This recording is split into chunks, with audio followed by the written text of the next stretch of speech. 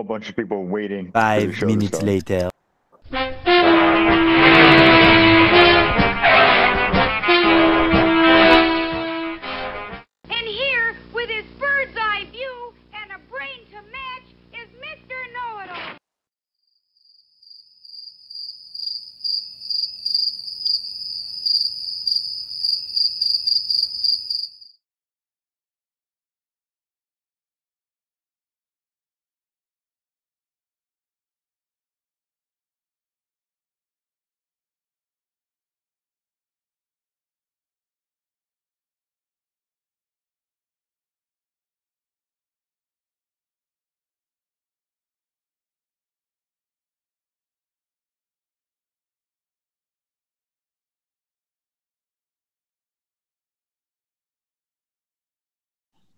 No sound. They're saying no, no sound, Thomas. No sound. Muted. No audio. I we hear you out here, but probably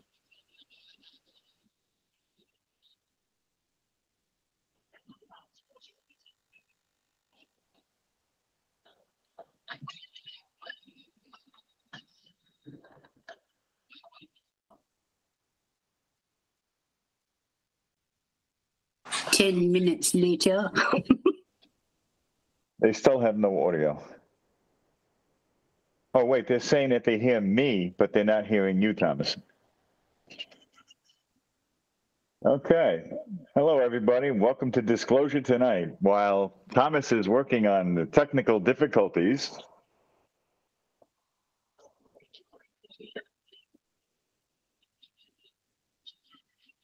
yeah, Thomas will return shortly while we move forward with Disclosure Tonight. Okay, so uh, everybody hang tight. We're going to reboot the show. And we'll, Yeah. the audience felt that you were doing a Marcel Marceau imitation. Oh, I'm not doing a Marcel Mar, Mar uh, um, uh, Marcel, whoever the hell he is. No, we're getting ready for Halloween. But oh shit, my my freaking where did chat go? I lost chat now. Let me figure out where chat went. Uh, chat screen capture properties needs to go to bed. Three two four K. There we go, Mike. How you doing, Mike? Welcome everybody to Saturday night. The Saturday night before, actually the Sunday night before Halloween. Hopefully everybody have a good time over last night. Uh, Gary and I hung out with Luke, and we were watching the the, the feeds in uh, Florida and over in uh, Bourbon Street, looking for nuns. You know what I mean, nuns. These kind of nuns, but hanging out looking for nuns. Yes, I think I finished off the night with like 22. Uh, Gary had like four or five. I'm looking. Remember, I'm looking at this on a 10 foot screen. Gary's smaller screen. Either way, it went really well. Yeah, you're What? doing good. Yeah, it looked like a vampire on it. I could see it. Oh, oh, oh, you better believe it. You know, I could look like an alien, but oh gosh, my teeth match yours oh now, Mike. not seeing you at the back. Not seeing you at the back. Oh yes, okay, here you go. Boom. There you can you see me now, girls? Yep. Yes.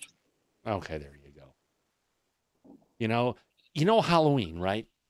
Halloween is the one day of the year, the one weekend of the year that we have all the people who are out there that are actually aliens. They could actually come out and be out there wearing masks, wearing outfits, look like they're wearing makeup or not, but they're really not, but they're actually the aliens. Couldn't that be a uh, an opportunity? We saw it in ET the extraterrestrial, didn't we, Nunya?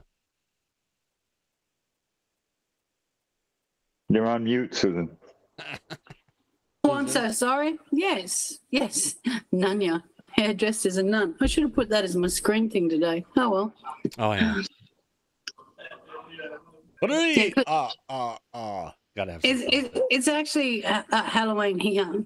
You're, you know, because we're a day before. Well, you. it's the thirtieth now, isn't it? yes. So it's all Hallowed Eve before Halloween itself. Well, isn't Halloween? See, it's not an Australian It's, tradition. They're it's trying to the get it in here. but- thirty-first. Oh, is it thirty The first? I thought it was the thirty-first, last day of October, girl. Oh, well, there you go. Oh yeah. I learned something. I learned something from you again. There you go. About learning some things. I haven't introduced anybody because, well, we're just having some fun with it. But I do want to introduce the people in the back. I want to welcome in Lee. Welcome in Lee. How you doing today, my friend? Oh, I'm doing good. Doing good. Good to have you here. Also, we've got Michael Sokoloff coming to us from the great country of Canada. Welcome, Michael. Hi, and uh, in Canada, it's Sunday night, the 29th. Well, it's still sun. It's still the 29th here too. Is what is it? 10. What is it? 1017 there now. 30th in Australia, I take it. Well, it's the 30th in Australia. It's 1017. Are you on Eastern time? No, I'm on Mountain Time. Oh, you're on Mountain. Okay, so you're only at freaking 817 then. Yeah. You're younger. you're younger than Susan by a number of hours. Also in the back, we've got Nunya Business. Welcome, Susan. How you doing, my dear lady? I'm doing really well, Thomas. You're looking well. Yeah. You've had a bit of dental work, I see. Oh yeah. It's this time of the year I get to come out and have some fun. This is the one time of year I can bring out the faces and have some fun with it. I thought you were already out. Oh, of course I'm out. Yeah, it, it, it's too, it's too difficult living in the freaking coffin or in the closet for that matter. You got to come out and enjoy your life as much as you can. I should have done it earlier. I should have done it earlier. I, I lost too many good years of my life. I tell you, it was probably a good thing. Also, someone else who who couldn't relate. Let's bring in Patrick Fogarty. Patrick, welcome back. There, there's no Patrick here anymore. It's uh, it's EB3 now. It's E EB3. Oh, did you steal it out of your flying saucer in the back of your I vehicle? did. That's what I just went to go do. That's why I'm all winded. We couldn't tell. Welcome, EBE8. Good to see you, my friend. Yes. Also in the back, we're coming to us from the great state of California, Southern California, uh, for that matter. Let's welcome in Phase Will. How you doing, Phase Will? Hey, hey, Thomas. Uh, happy Sunday, fun day Sunday. Good to see you, man. Good to see you as well, my friend, as always. Uh, also in the back, we've got Mr. Disco Lights because you're the only one with Disco Lights tonight because uh, Hollywood Herald is in the chat, but he's not in the back. Let's welcome in Stephen Timir. Welcome, Stephen. Hey, Tom.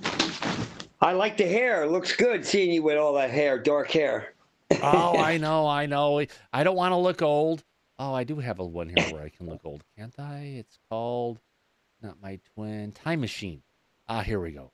All right, let's go ahead and bring this up. Yeah, Wow. I've been waiting around for disclosure for all these years, and it still hasn't happened. What the heck? it, it'll age you waiting, I know.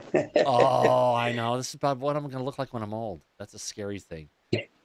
when you get old, yes. Oh yeah, I'm old enough. 55. it's not just the speed limit. Well, at least we're up to 60 in Washington State. Let's go ahead and also welcome. You look in- like a bit, bit like Bruce Willis there. Oh God. You do, you do. I'm, I was thinking, who does that look like? Bruce Willis. yeah. This is old disclosure. All disclosure with a logo. Do you like the moon I've put behind? I did this on accident before, and I did it do. again. Looks good. Yeah, I think I'll look better on t-shirts that way. And if we're gonna do sweatshirts, we're gonna do the logo with a zipper because zippers are nicer. Hmm. Yeah. Uh, but let's that's wraps us up to our friend Mike. Mike, Mike, disclosure, Mike. How you doing, my friend? Doing well, and uh, this is another surprise episode of Disclosure tonight. Should be a lot of fun for everybody. I'm Yeah. looking forward to it. Girl, this is one of those episodes we're gonna have on. We're gonna watch, but we're not gonna tell, and we're gonna turn it off after this broadcast is done. It is off the air forever. oh, I know. Got to have fun with it. At least I've got a mask. Not quite to ma- match Mike's, but close enough. So it's been an interesting Sunday. Hopefully, everyone's had a good Sunday. This is just kind of one of those days for us to kind of come together, hang out on disclosure tonight, talk with friends. Uh, is there anything on anyone's mind from the audience, from the back of? Doesn't have to be disclosure. It's just after hours, if you want to call it. Not quite because that's over on Spaced Out Radio, but we're just here to talk about what's to talk about, Patrick. yeah. So there was that plane crash. Was it like? Oh, uh, Patrick, cheers, 20 by the way. Thank you. Thank you. Oh, cheers. cheers, Clink. cheers. Hold on. If I go Bing. right, I gotcha. There you go. There. There. Okay.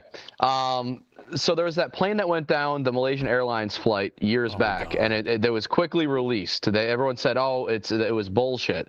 But for some reason, has anyone else seen that come back into the the, the sphere of? Oh my god! Something there has have come been out. so many schmucks up on on Twitter about this, talking about the MH370, and I just want to go ahead and say it out there exactly. MH370 did not crash. It was obj- it was clearly it was clearly absolutely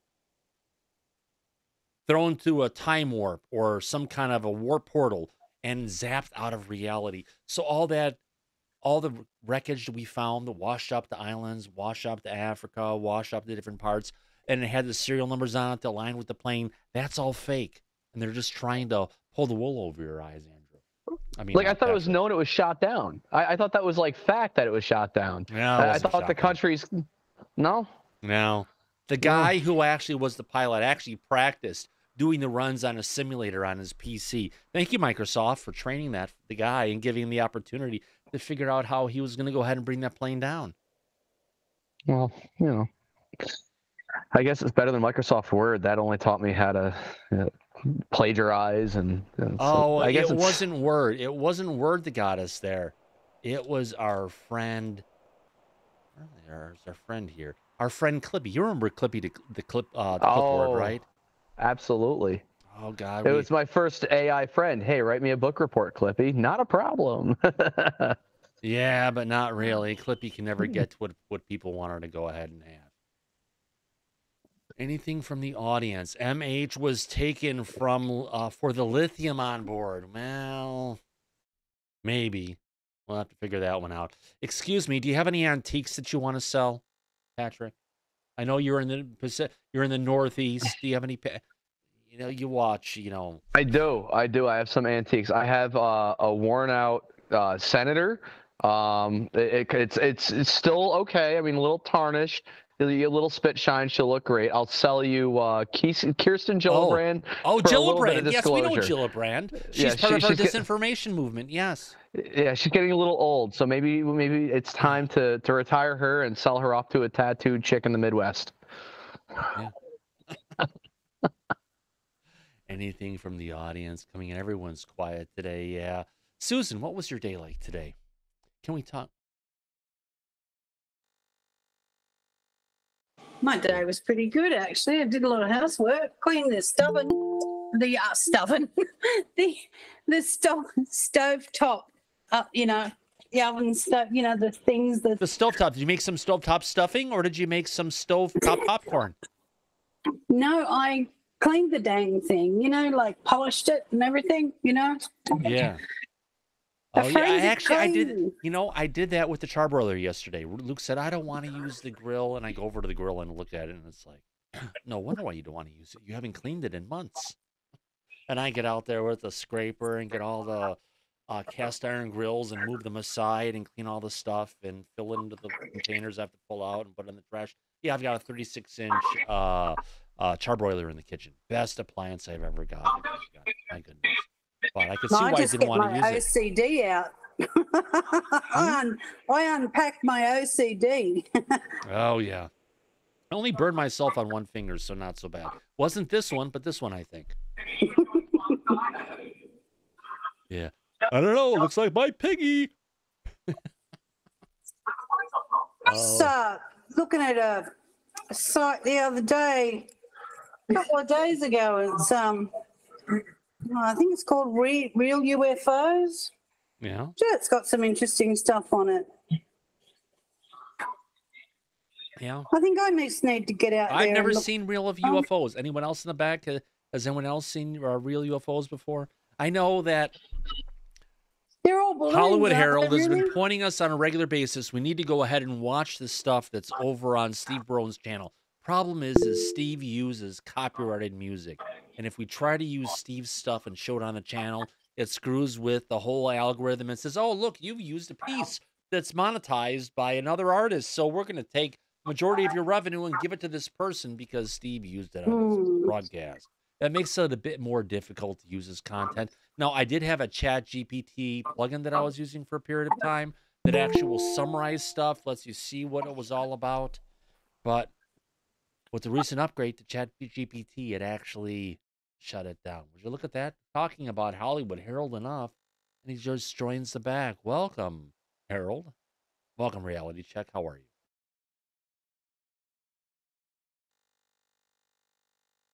Harold.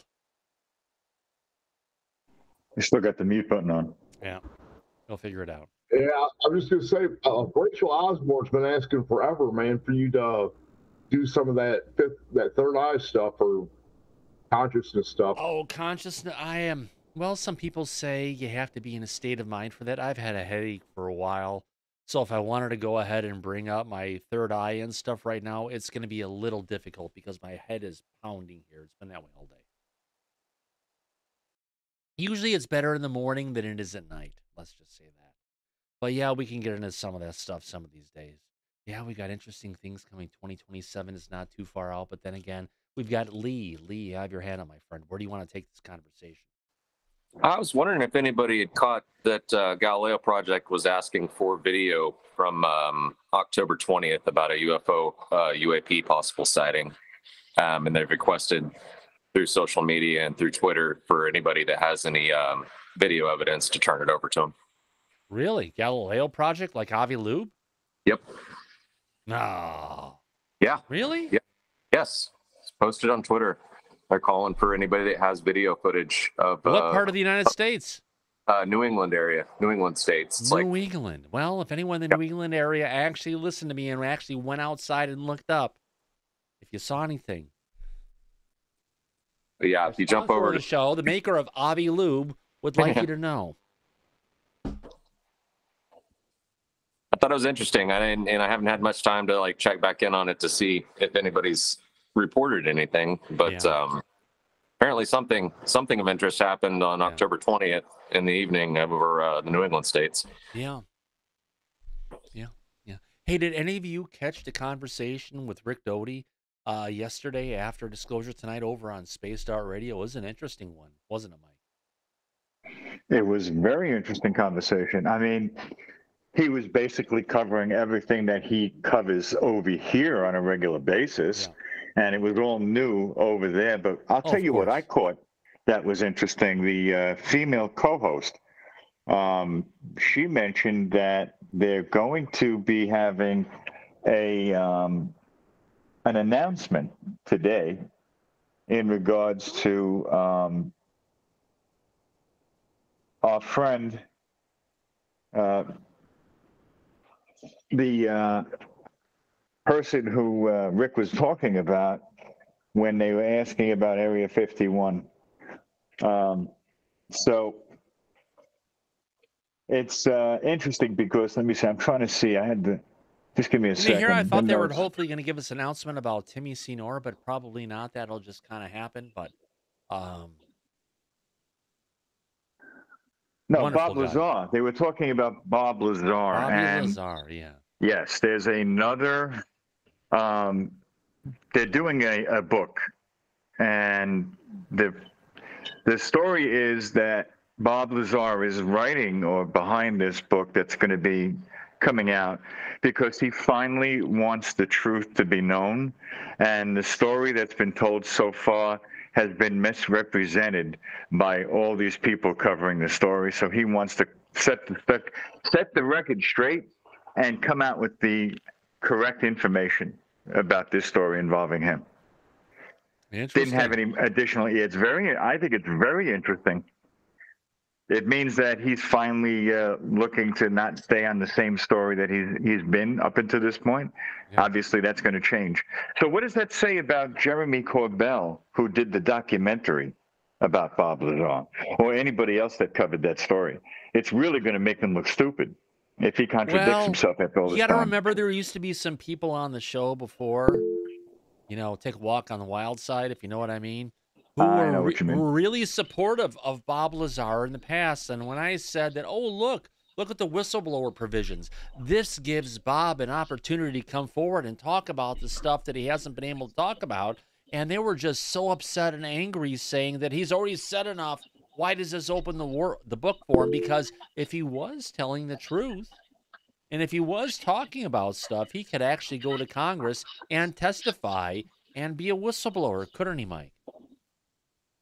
He had the opportunity to do that, and the author of the book with him, or the co-author, is James Goodall. Oh, It's going to be coming out with the book. yeah. So yeah, that's interesting. It always seems much- people out who coming out, Mike, and talking about stuff. It's always about a book tour, isn't it? It seems to be. Even Rick has a book that eventually is going to come out at one point. Thank you, Brendan. He doesn't know the exact date or time, but he's working on it. So everybody seems to have a book lately. Yeah.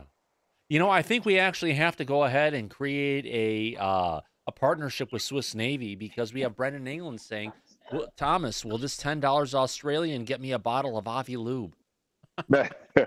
Depends on how many ounces we deal with, but yes, we only trust Swiss Swiss Navy as the best pur- purveyor of lube. Oh, gotta have some fun with. Yeah, interesting to hear about that. Um, I've I've always had uh, a mixed bag with regards to um, Bob Lazar, and I haven't hid my hid my truth. I've always said exactly how I feel. He said some things. It's interesting, but I'm not all in because there's too many things that he said, Mike. That if it was true, he would have been having someone from the FBI knocking on his door and hauling his ass into prison if it was true, right? Oh, 100%. Absolutely. Without a doubt. So everyone that's been following this story knows that a, a- lot of it didn't add up. Even Joe Rogan, who did that long interview with him and Corbell, said there are facts that don't make a lot of sense, but he also then said that Lazar talked to him off the air and explained it away. And it made more sense to Rogan after he got the secret explanation from Bob Lazar. And I shared with you that I believe that it had to do with his so-called in work in intelligence, Lazar, or his claims of working in, in intelligence, which is why But his Lazar, records wait, wait, wait, wait, wait, wait a minute. Now Lazar's saying he was working in intelligence? He was alluding to it to Rogan to explain uh, the lack of academic credentials. So, yeah, his story always has a story. It seems. It sounds like my ex-wife who had an answer for everything and was something who was a compulsive liar and couldn't stop lying no matter what came out of her mouth. They couldn't believe anything. So now he's coming up with additional reasons that he's throwing out today. Yeah. Plus, he's going to have a new book that's going to supposedly explain all of this, and it's going to change the narrative of the story that's been put out about him so far. That, by the way, he was actively participating in those stories. He was working with George Knapp when it was covered. He was working with Corbell when it was covered. So now he's claiming he had no control over people giving out misinformation. That's that's going to be very funny to see that information come out in the future. I want, I'd like to see that book. Yeah. It's gonna be it's gonna be good for a laugh, I think. Yeah. Well, books are books. They sell. He gets an advance. He has to go ahead and recoup against royalty against it is his advancement and the royalties pile in. Hopefully he'll get some money out of this. Maybe. Oh, he will. know. No, he will. Does he have endorsements from any other ufologists like uh oh gosh, uh um what's her name again? Linda Moulton Howell or Richard Dolan? No, No. No, Uh, unfortunately for him. No. Does he have any uh how about from uh, Jeremy Corbell? Does he have an endorsement from Jeremy? I don't think Jeremy is too happy that he's writing this book or being a part of this book that's going to contradict what Corbell already covered about him. Because it's clear, Lazar said it, that what's been told about him has been wrong and misinformation, and he wants to set the record straight. So, So, he's going to change the story. Oh, hold on, hold on. Where's the freaking Let's rewind that for a second. The stories that have been told about him Right. are the stories that he's told about himself. So now he's exactly. Now you got the point. You hold got on. the message. been around for a while. Huh? Uh, so Right. he's saying the stories that came out in the in the past before about him, which were the stories that he told, aren't Yeah. accurate, and now he's coming out and actually telling the truth in a new tell-all book that he all wants you to buy for 19.95, available on Amazon, maybe more. That's right. Absolutely. But you know, the the author that's working with him, James Goodall, he also has written books on the SR seventy one, which means there's connections into Area 51 because they developed the Blackbird at 51. So I don't know if that's part of him trying to come across credible, um, because the author has some credibility. But as far as Lazar's story constantly changing, uh, this should be interesting. Like I said before. Oh my god. Here we go.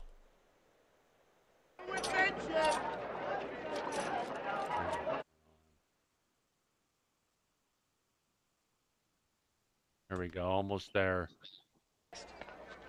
Occupation. Stand up philosopher. What? Stand up philosopher.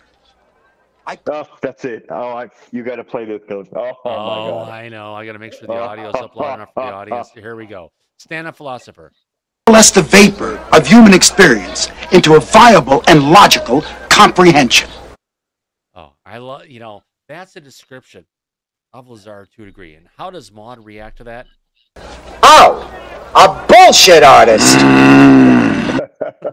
a bullshit artist. Yes, exactly, exactly. A bullshit artist. Oh fuck, where is that? I lost it. Vapor of human experience. All right, here we go. Let's continue on with this conversation. Here we go. Did you bullshit last week? I- you know, Bob's gonna say no. Well, yes, I did bullshit last week, but I have this new book coming out go ahead and correct that. No. Did you try to bullshit Some, last uh, week? Interesting responses are coming out of the audience. Uh, Christian Morales is saying, I'll hear Bob Lazar out. I think it's unfair to call him an attention seeker. He hasn't wanted anything to do with the UFO community for a while. You guys got balls for I'm not attacking Lazar. Bob. I'm calling out the exact way I felt. And if Bob is saying everything that came out before from me wasn't the truth, but these are all the stories that Bob has told people, like Lazar and countless other media sources. But now I've got this new book coming out that tells the truth. Why wasn't he telling the truth before? Christian, join the back. You know the number. No, Christian said earlier in the chat that he's so negative on disclosure that he stopped calling into the show. Oh, sounds like he's been hanging out with Swan. Oh, I certainly hope not. Oh my god. What a mess. What a freaking disaster that turned out to be. Wow. Unfortunately.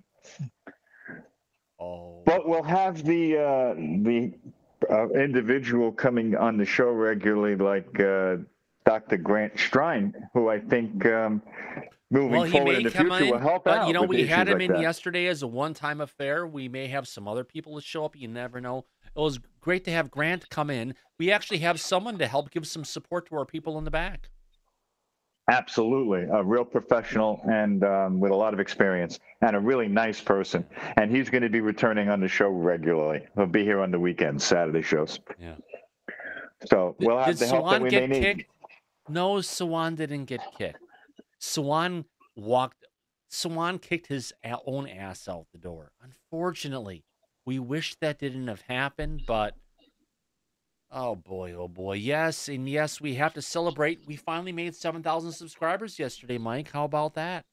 That's finally about time. We've been waiting long enough for that to happen, Thomas. That's great. Good news. I know, I know. It's one of those things. It's not. It's more of a. You better believe we finally hit when we're actually at 7,017 subscribers. It took for, forever to get there, but you know what? We finally did after we brought up the counter and showed it on screen. After the show was over, the numbers just start kept on clinking up and clinking up as time was going on. You gotta have some fun. You gotta have some fun. Yes, Lexapro. My dad was on Lexapro finally near the end of his life. He needed to be on that his entire life. Citalopram might work as well. It may help with those upward and downward swings a bit. My oh god, I remember my dad after he came off the Lexapro taking the freaking cordless phone, smashing it on the table until it fell into pieces and went everywhere and slammed it on the floor. Gosh, he was such a wonderful person after he was off his antidepressants. I warned everybody.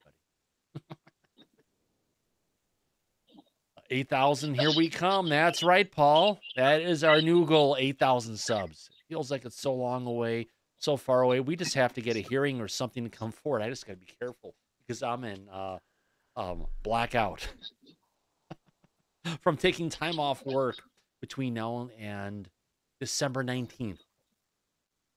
So we'll have to figure that one out if we're going to do that one. If we do get a hearing that pops up, I'll figure out how to make that happen one way or the other. Maybe more Mike talking than me, but we'll still make it happen.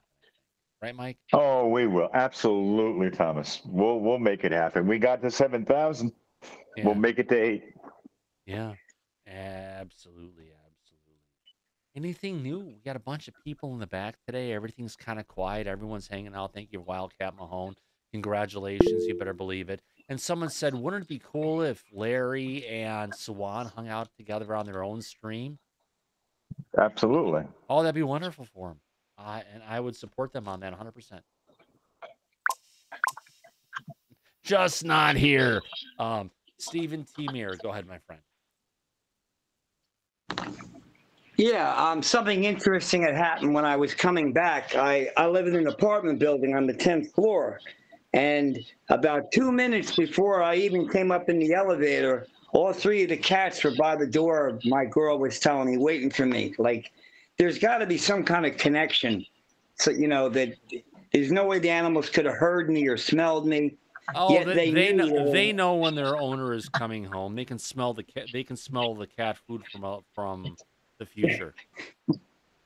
I don't know. Yeah, well, I did come home and feed them, but it just amazes me how like th- there's so much stuff that we don't know about consciousness, and even the animals are connected. You know, it's just amazing. Oh yeah, I they wish- are. you know. Absolutely, absolutely connected. Although I'm trying to find a replacement dog here to deal with the loss of Cupcake. I did find a cute You one will. just now.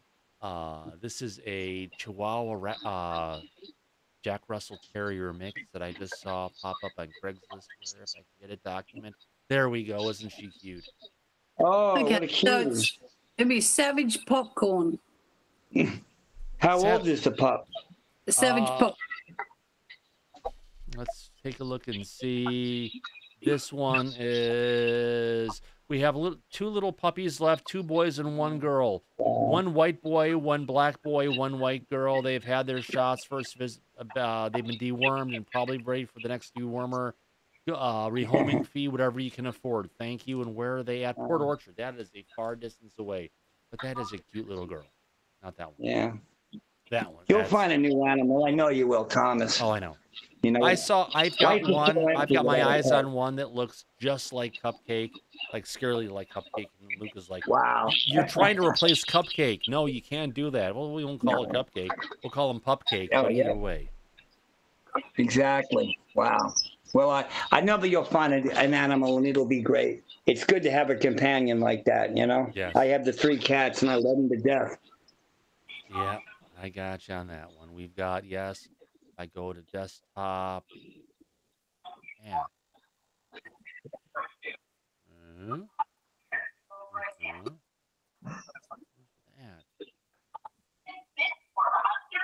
No, no. Oh, here we go. Desk chat. I've got Cupcake right here. She's close by and will remain close by. I actually took today um, uh, earlier in this morning and I actually cleaned off my desk. What a. Except for that. Except for the ashes. That'll always Nobody can there. actually Yep. see. There's nothing off to this side of the desk. I got stuff off to that side of the desk and stuff off in front of it. As long as I have this little part of my desk clean, nobody knows the difference. People are asking, but what about? Yeah, but Lazar was the guy telling all those stories you know, about the sports model and everything. But now, wait, anything he said before is now in question unless it's in his new book, right, Mike? Oh, absolutely. He, this is another payday. He always has some angle that he plays. I think it was Bob Bigelow that was talking about at one point during an interview. He actually hired Bob Lazar, paid for a laboratory. And he and Lazar took that money and had the laboratory and did no work, zero. And then Lazar just gave him some excuse, and and at that point, Bigelow had no choice but to terminate his employment. So it goes to show you what his real intentions always are. Yeah. He makes big promises, follows through with nothing. It's And almost like what Brennan Bigelow. England says here. If only Swan uses brain for niceness instead of evil, Mike. It's a good point, Brendan. Yeah. But listen, you know, everyone has to make their own bed, then they have to lie in it. Yeah, but apparently Swan. the reason Patrick wasn't around here for a while was because of Swan, and I have to welcome Patrick back now that the other one's cleared out. No, wait a minute. I didn't know that. I didn't think there was an issue with Patrick and Swan. Yeah, there was Patrick. I did not know that, Patrick. Why lose- don't you fill us in on it? I At think least fill me in on Patrick. it. We lost Patrick. Patrick, come back. That's what he said earlier. Yeah, absolutely. Did you know that? I didn't. I didn't know that. I found that out anything to earlier today. Oh, see, then we both were in the dark about that. But I knew there were some things where you know Swan was saying some things. Well, I don't like you anyway, but that's just Swan being Swan. I was uh, as I would usually say because he doesn't like anybody. That's the problem. Yeah, But Steven. I didn't know that it was blocking Patrick from coming on the show. Yeah. Had he said something to you or me, we would have handled it. Yeah, I and it's know. also the reason that West wasn't coming around for a while is because of Swan. I did not know that either. I thought there was other reasons why West wasn't coming on. Yeah. I don't know about you guys, but it was kind of obvious, wasn't it? RROD Rod twelve fourteen. First message I've posted here. It's better Swan isn't on the show. There you go. First time, Thomas. long time listener, first time poster. Yeah. Thomas, Well, Yes. I've got a, Susan? a f- our next door neighbours uh, had a a um, uh, Chihuahua cross, and her, her name was Tina. She was a cute little thing, but um, they taught her how to smile. They'd say, "Smile, Tina," and she'd look like she was growling, you know, like she, yeah, savage little look. Anyway, Tina used to sit out the front of their yard and smile to the school kids going past. And of course, the police were called about this savage dog. And when they came, knocked on the door, and they opened the door, and they said, "Oh, we're we're here about your dog. You've got a savage dog." And they said, "Well, we've only got one dog, and here it is." And Tina comes to the front door, and they've looked at it and had a bit of a laugh. Anyway, they said, "Well, we've got to report your dog's growling at people as it- walks past." She said, "No." She said that she smiles. The coppers looked at him, of course. Oh, come on, come on Yeah. now. And he's gone, "No, seriously, look, smile, Tina," because she shows her teeth. Funniest thing, these two coppers walked off, and that was the end of the story. Yeah. I gotcha. I gotcha. A lot of interesting feedback coming from the audience about the situation that happened with Swan. Yeah. Well, Swan can go to Goofon. Oh my God. I don't think they get along because Swan, you know, Mike, and, and some of the conversations that were out there replying to Swan's reply where he was freaking skunking you, they were saying that both me and you were like Doty and Lou bootlickers. If there's a Lou bootlicker out there, one of the biggest ones out there is Swan, isn't it? Not that there, not there's anything wrong with that because I would be happy to say I'm a boot, bootlicker for that matter. Not that we would lick his boots, but the reality is we support everything he brings forward, right, my friend? Yes, Thomas, you're absolutely right. And it's not a question of getting down in the gutter like they try to make these stupid points. We are friends and colleagues of Lou and are working with him to bring disclosure out to the public, which is the work he started back in 2017. There's nothing to be ashamed, and I don't take that as uh, an insult. It's actually a compliment, the way that I see it. Yeah. Oh, absolutely. I hear you completely. It's one of those things we just have to be tolerant, Matt, and not call people out, Matt, because you know how that can go wrong in your particular direction. Hopefully, everything's going good. I want to welcome up uh, Stephen T. here. You have your hand up, my friend. I didn't mean to have my hand up again. I'm sorry, but uh, you know, I, I just can't wait for you to get a new animal because you definitely have Oh, a heart for one. You know. I'll get another one. All right. Absolutely. All Thank you very then. much, sir. Matt Ramon. Matt, how you doing? You feeling a little bit more inclusive? For sure. Hey, I just want to know if there's any studies done about elevation change and losing your mind, because I wonder if that's what happened to Swan. No. He was that way before. he he was that way before he went from uh uh, if you want to call it from um Atlanta, the Atlanta area to Colorado, nothing to deal with it. It's just he is who he is, who he is, and we wish him the best at this point, don't we, Mike? Well, I just want to say to Mike, you know, happy birthday. I was working, so it was a little late for me to, you know, call in or anything like that. But I wanted to say happy belated. And uh, I, I feel bad that you had to have that interaction with uh, Swan on the show like that. Thank you, Matt. But it's not anything that we can't handle. And we've dealt with uh, disruptions on the show before. It doesn't bother me. And uh, the people that make those choices, they uh, learn the hard way and suffer the consequences, which is what happened with this. Uh, thank you for the uh, belated birthday wishes, Matt. I really Uh-oh. appreciate it, my friend. Niles guy wants to know: Does this mean Swan, Larry, and Sapphire Elf aren't invited to the New Year's to the New Year's bash? I'll defer to Mike on that one. Um, well, Sawan is permanently banned from returning, so he's off the list. Uh, Larry and Sapphire Elf haven't been heard from in a while. I think they're doing their own thing. So I think Sapphire, like you know, Sapphire, themselves. Sapphire, like Swan, has bit me many times. Yes, you've given him multiple second chances over and over and over and over again. You know, while he's a moderator over on Spaced Out Radio and Goof On, I think it's best that he ha- hangs out in his caravan somewhere for, in Australia and uh, deals with his own demons for that matter.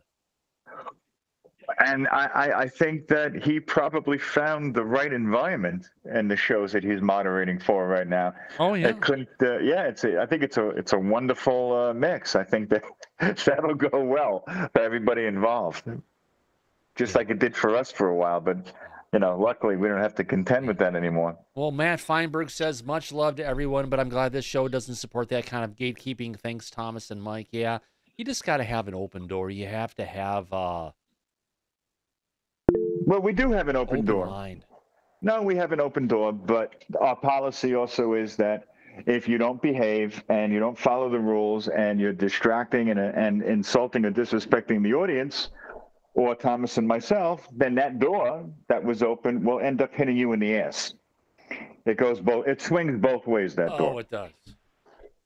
right, Thomas? oh, it does. It does. It does. And it reminds me, I was, someone just brought something up here, and I was remind, reminded me as I was going through all of my different uh, layouts here today. I was trying to find with the moon logo and stuff, and I found one of my old layouts here. I actually did a Larry a while ago.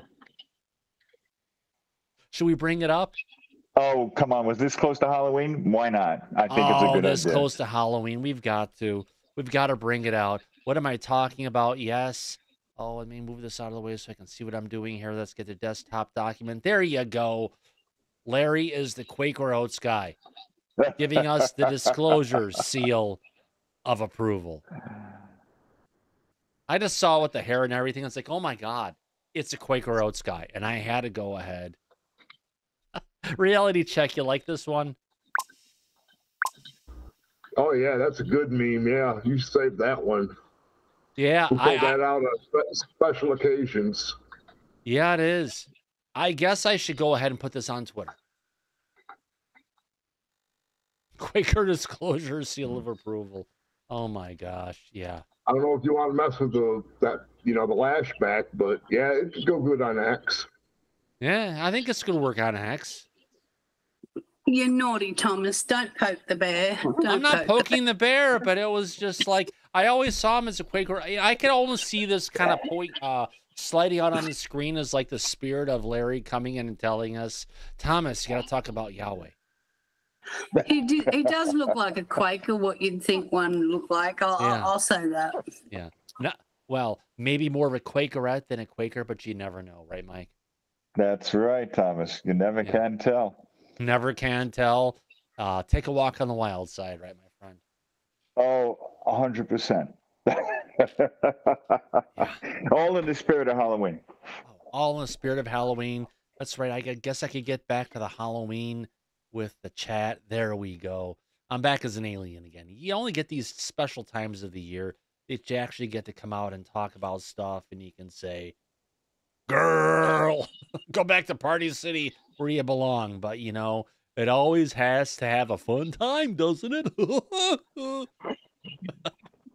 but you have to tell the truth. You can't lie because if you lie, people are gonna know. Put the uh, the chat comment that at jo- uh, and Joanne just made. I think it. it, it It's cute. it My was perfect for the show. 93 year old mom laughed too. Is that it? No, guys, I kind of like the show tonight. It is different, but I am glad it's laid back tonight. Let's get into this. Showing up. It, it, we all have our personalities and beliefs, and we have open minds and learning from each other. Very well said, Joanne. And Joanne, Nope, that's not it. I'm looking. I got to turn off the stuff to automatically kick up stuff on the bottom. Uh, Liliana Tuna, I like Dracula. Holy crap. Last of the finest. Yeah. Go further up. Mama Jama. Um, looking for and No, further up.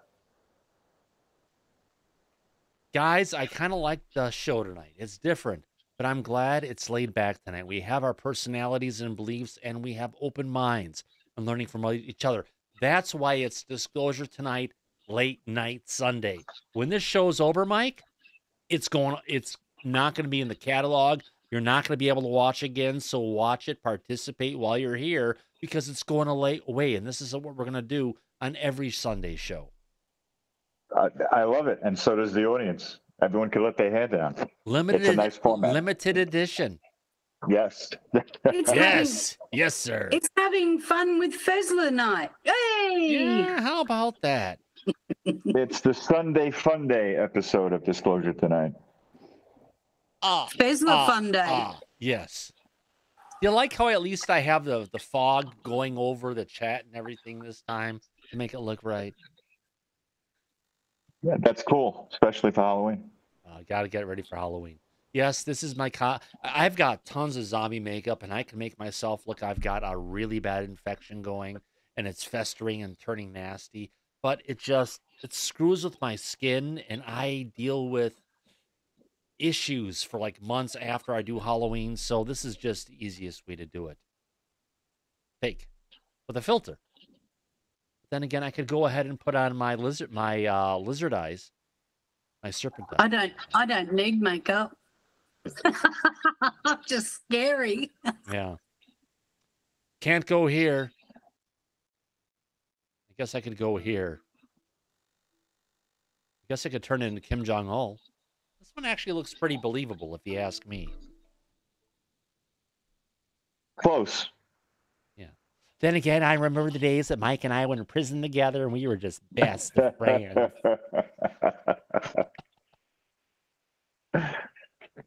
Oh, back to it again. What is the audience? It kind of feels like being caught in the middle of teenage boys' maturity. Opinion is one thing, but oh, oh, Aubrey, really? You're not having a fun time here tonight, girl? I hope you would. Push this down.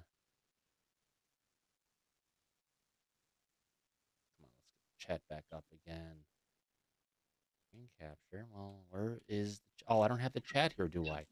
I don't have the chat. That's why it's not showing up. It's not showing up there. Let's go to here. Bring up Aubrey McLeod there. There she goes. Let's grab Aubrey. Let's get chat capture. Let's go to copy. Let's go back to here. Ah! Capture. There you go. Now we've got it here. Yes, it's like teenage boys, but you know, you're cracking up and love it. You know, you can only be serious about not being serious so many times. My cousin actually designs a lot of the masks you see in horror films. Interesting, Last of the Finest. Does he do Does he get it from Eglin Air Force Base as well? Matt, yes, it's too funny. Surprise Thomas doesn't have a, a Larry filter. No, I can't do a Larry filter. The closest I can get to a Larry filter is about this one here, right? Right, Mike? Oh yeah, that's it. Close enough. Yeah, that works. I guess I could wear my my purple glasses or be a devil or well, there's the nose. There we go. That's the one that I've been looking for all night long. You got to tell the truth always because otherwise people know the dis- the difference. yeah, you're doing your Sean Kirkpatrick impression right now with the Pinocchio nose. Yeah, I know. I know. It's one of those things. But I could always be a kid again. Yeah. Oh, that's right. It's got the it's got the little bobble thing, the little bottle going. So it wants to make sure people know that I'm not actually a kid. I'm not a kid. I'm an adult. But it feels good to be young again, doesn't it, Mike? We try. We absolutely try. There's no harm in that. You're only as old as you feel. So Oh yeah. As, as old as, as old as you look for that sometimes. But yeah, we just get to that. well, sometimes. Yeah, I got you. Hey, hey, Hollywood, what's up tonight, my friend? I'm just hanging out, man, while my ceiling's getting painted and stuff, man. It's got to dry, so I'm just hanging out with you guys tonight and wanted to see what was going on. And Are you huffing some paint fumes tonight, Hollywood? You're not sharing. Uh, it's, it's latex paint, man. It's it, yeah. How much did it cost you? Uh, to do, do my ceiling so far, I've got probably about a hundred bucks into it plus labor. So what's the total cost? Because supplies are usually Uh, the haven't settled yet. My my friend, he's uh, I've given some advance on it and stuff. We're gonna see when it's done, what the total bill is. I'm, I'm guessing a couple hundred. there you go. Couple hundred for labor and, a And couple hundred total. Uh, the, the paint I bought and stuff, plus, like I said, a couple hundred for his labor. Oh, there you go. But you wait, wait, you were painting ceilings, and, the ceilings and walls, right? Yeah, yeah, but he's just he's just working on the ceiling right now. It, you see how much I smoke and stuff, man. He had he had to get some uh, Kilz and stuff, put a couple coats on it, man, to kill that nicotine stain. So it's taking longer than I wanted. Yeah, you're.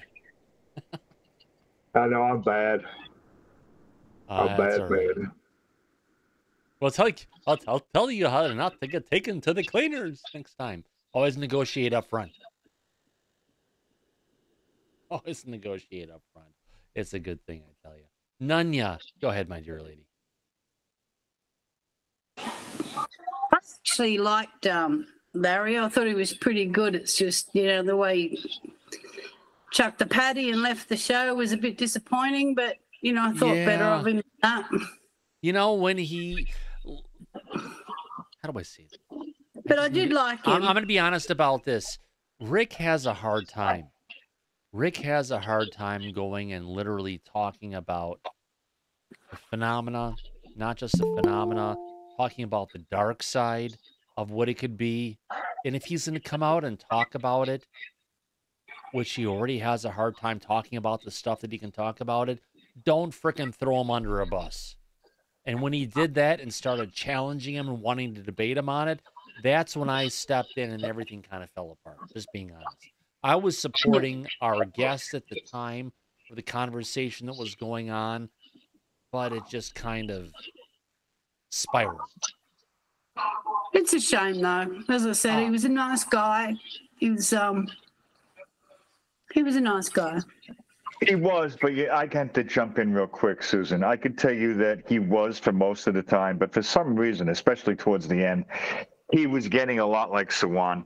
He was cursing and he was being aggressive unnecessarily and attacking people like Sawan has done before, but we don't know why that was or what was going on with him. It doesn't matter at that point because just like Sawan, we can't allow that to continue. We have to stop it.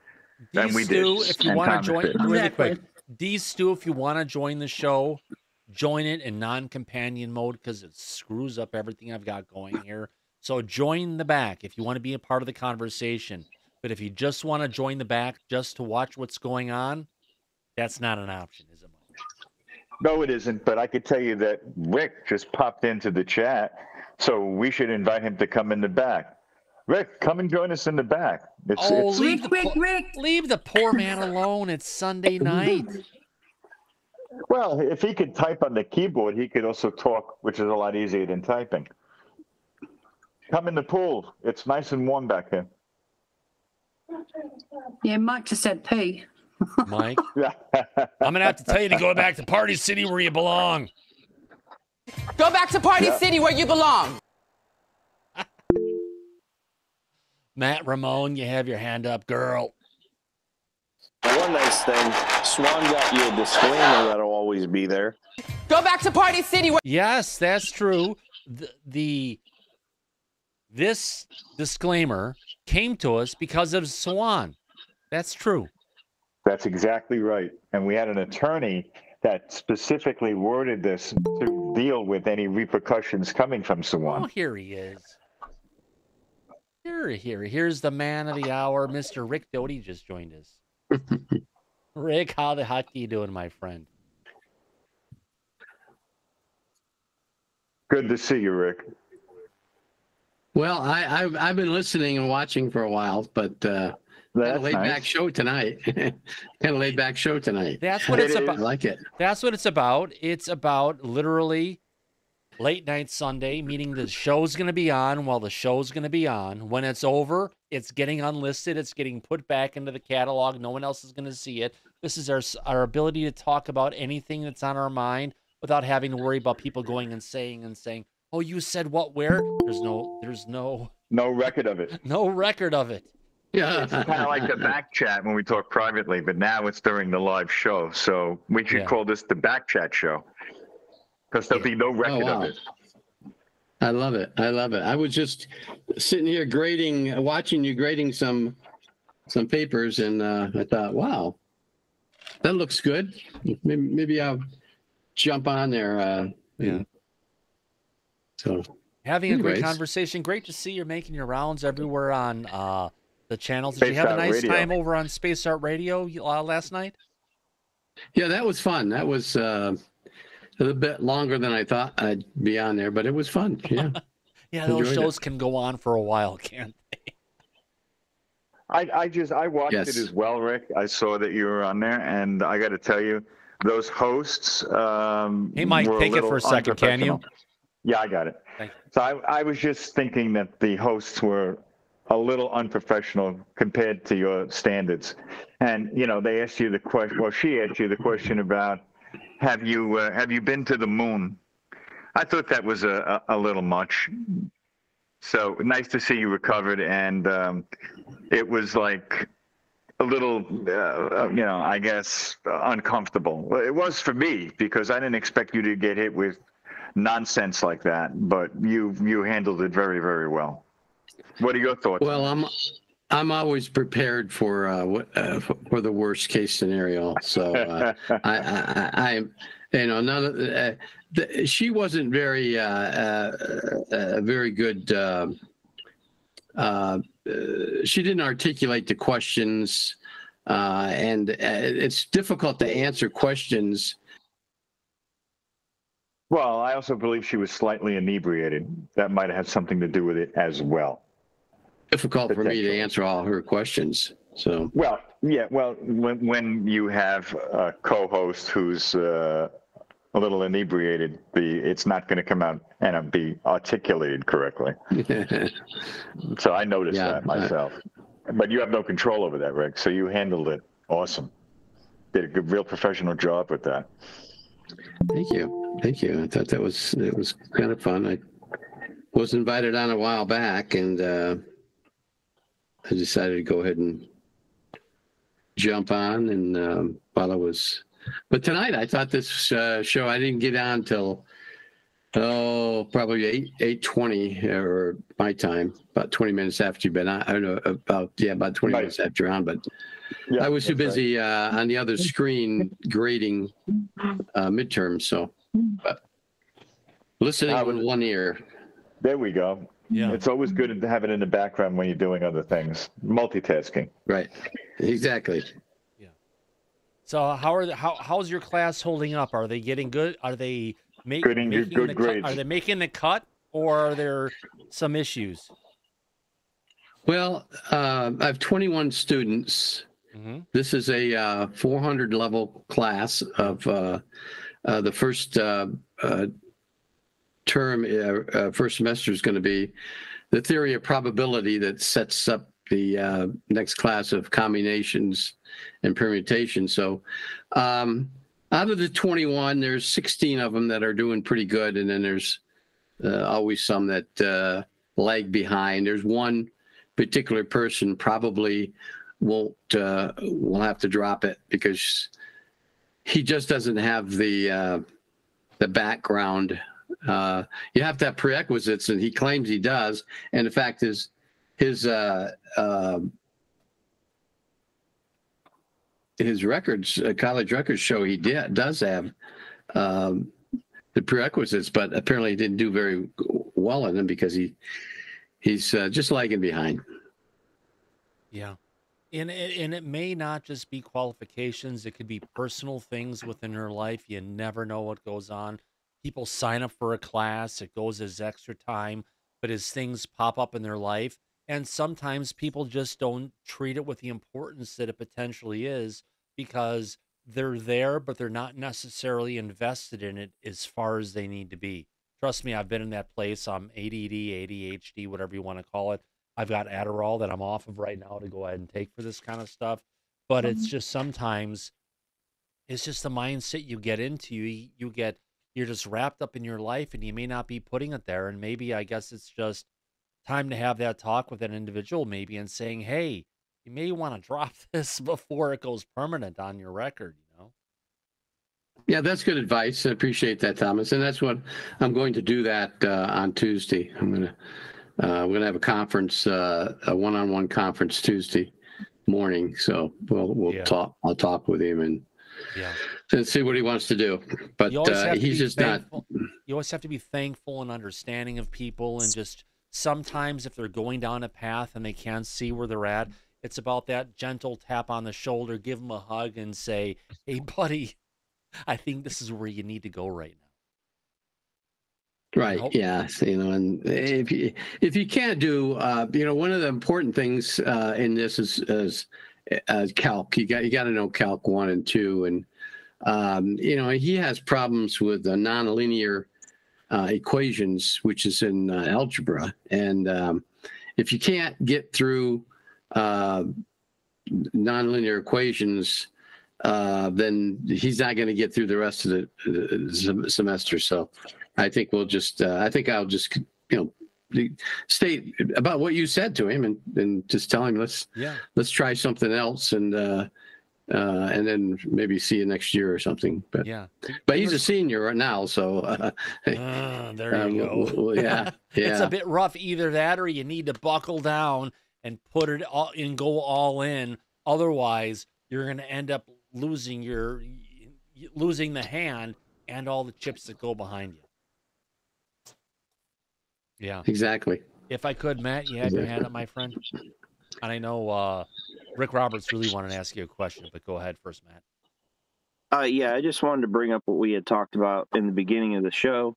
Um, I want to see what Rick has to say about Bob Lazar's book and what his feelings are with him saying that he's going to release new information and then understanding that you have a book coming out, but your information is stuff that you couldn't say.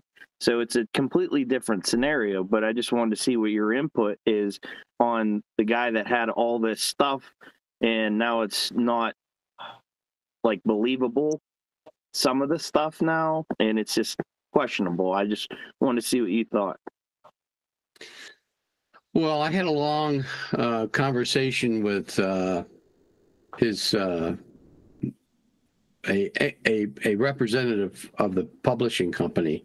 Uh, a long conversation. Uh, actually, it was uh, three different conversations over a period of about a week. Um, and I told them what I thought, and told them what uh, you know what can be proved, proven, Uh, I don't know anything about what he has as far as uh, what he got out of Area 51, but the point that that that he has to conf- confront is that the um, entry control logs shows him there from April of 87 to June, of 87. That's it. Uh, so uh, if he did all those things in that three month period, okay, well, okay, good. But um, I think he has to answer to that. What capa- does it show what capacity he was there Yeah, in, such yes, as like a janitor? Yes, he did. He was in maintenance. We had this discussion Yeah. with Rick earlier. Right. Rick confirmed it. Yeah, in the fact, entry in log. fact, Mike, yeah, Mike, Mike knows a, a bit more. Uh, yeah, uh, he, he was he was maintenance, and he didn't have a security clearance for the first. Uh, oh, I don't have it in front of me, but it was first. I, I guess maybe thirty days or twenty days or something. He didn't have a security clearance. He had to be escorted everywhere he went.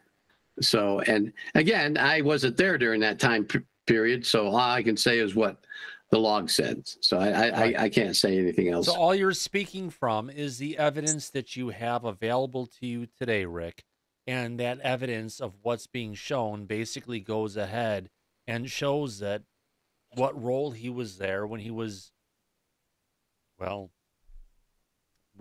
coming into uh, what facility was he coming into again? I think he was in um, he- uh, supposedly S2, uh, but the uh, entry control log doesn't show him in S2. It shows him with uh, uh, EG&G, uh, um, contract employee with E EG&G. Right. Isn't EG&G someone who's coming from the? DOE? Yeah, it's a contractor for DOE, right? the DOE. Uh. We, Right. we look at them so many times, and we just have to look at a lot of the stuff that's going on and say the DOE is where it's at. The DOE is has been one of the main culpable, if you want to call it, organizations that have been part of this cover up. Bob might have been there. Yeah, Title 18 is what they've been hiding under the whole time. Right, Rick? right. Not Title 10, not Title 50. Title 18 is what shut that down. Bob might have been there longer.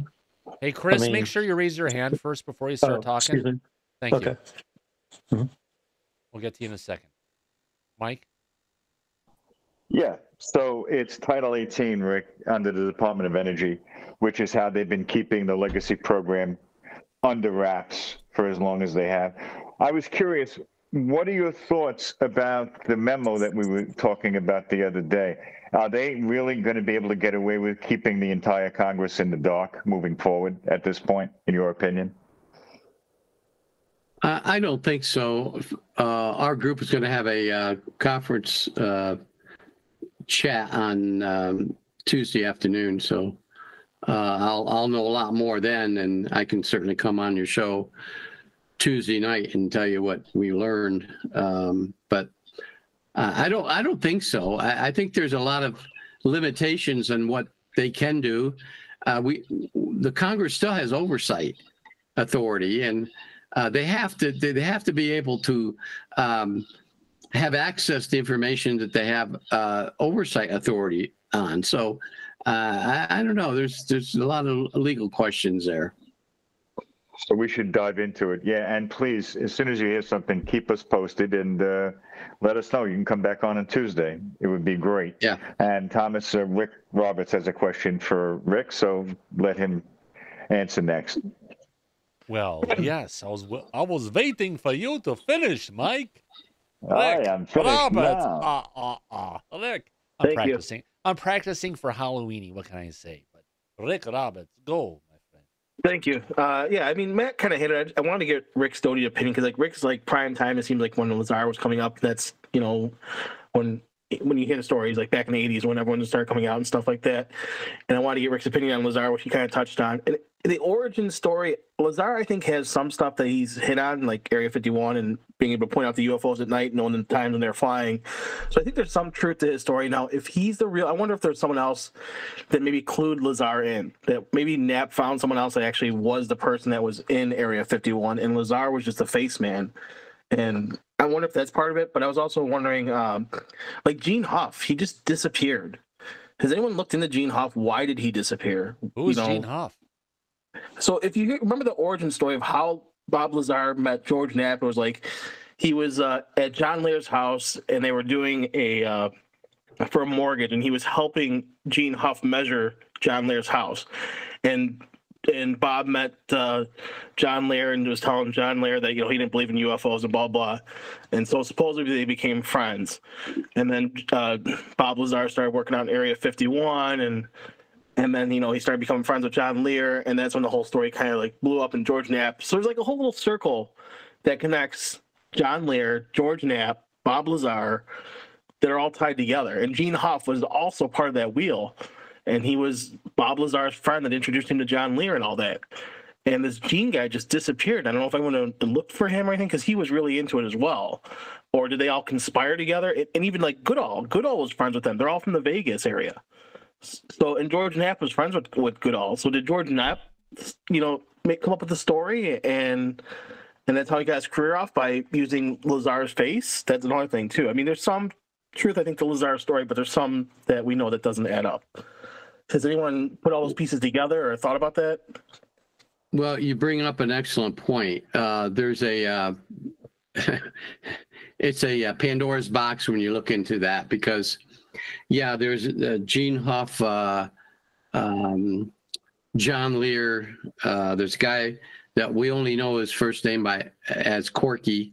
Uh, Corky, I I personally feel, and, and not just me, but many others feel that uh, um, uh, he's getting uh, information from Corky. Corky, I think, is a legitimate was a legitimate scientist working inside uh, one of the research centers on Area 51, and um, and Lazar made friends with him not at Area 51, but in Vegas. Um, and there's another long story about and and I, I'm not going to go into it because I don't know factually if if the chain of events or the chronological order of how Corky and uh, Lazar got to, uh, hooked up. But anyways, um, the, the, anyways, uh, Lazar met this guy by the name of Corky, and there's a lot of people out there probably know who he is. I know George Noory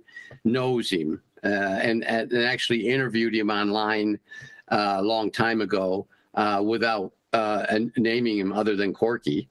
Uh, Corky's a, is a scientist because he, I think there's people that have vouched for him. And I think most of the information Lazar is talking about and and the fact that he knew when things were flying around or outside, standing outside watching things flying around the Nellis Test and Training Area, came from this Corky guy. Now, um, Gene Huff, he's another guy that um, he's he's he's still around. Uh, I can guarantee you, he's still around. Uh, he's not so much involved in Area 51, the UFO uh, uh, uh, phenomena anymore. Uh, he ha- he has other dealings and he has some trouble that he got into in real estate investments and so forth. But um, yeah, you got you, you, got a lot of that right, uh, Rick. Uh, that he that Lazar probably got it from somebody else, and and I could. Uh, I could almost guarantee it's coming from this Corky guy, but we don't really know. I don't know who he is, but there's other people out there that claim that he's somebody, a scientist that, that worked for EG&G on uh, uh, inside uh, Area 51. Thank you. Appreciate it. Welcome. Absolutely. Chris Aiken, you ever hand up next to friend? Yeah. Um, okay. I mean, Bob could have worked there a lot longer than just from April to June of 1987. I mean, you have But, to remember. but if he did, he would have Hey, he- been on the the rosters of people signing in.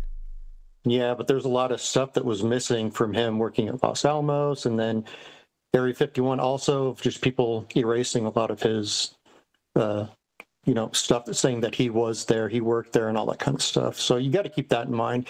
Also, the other thing I want to know about is what's not a question, it's just I want to say that Bob has gone on record saying that, you know, he really doesn't like doing interviews because, you know, he's pretty much told the same story over and over. And he said he doesn't have anything new to add. So why is he doing a book with something new to add?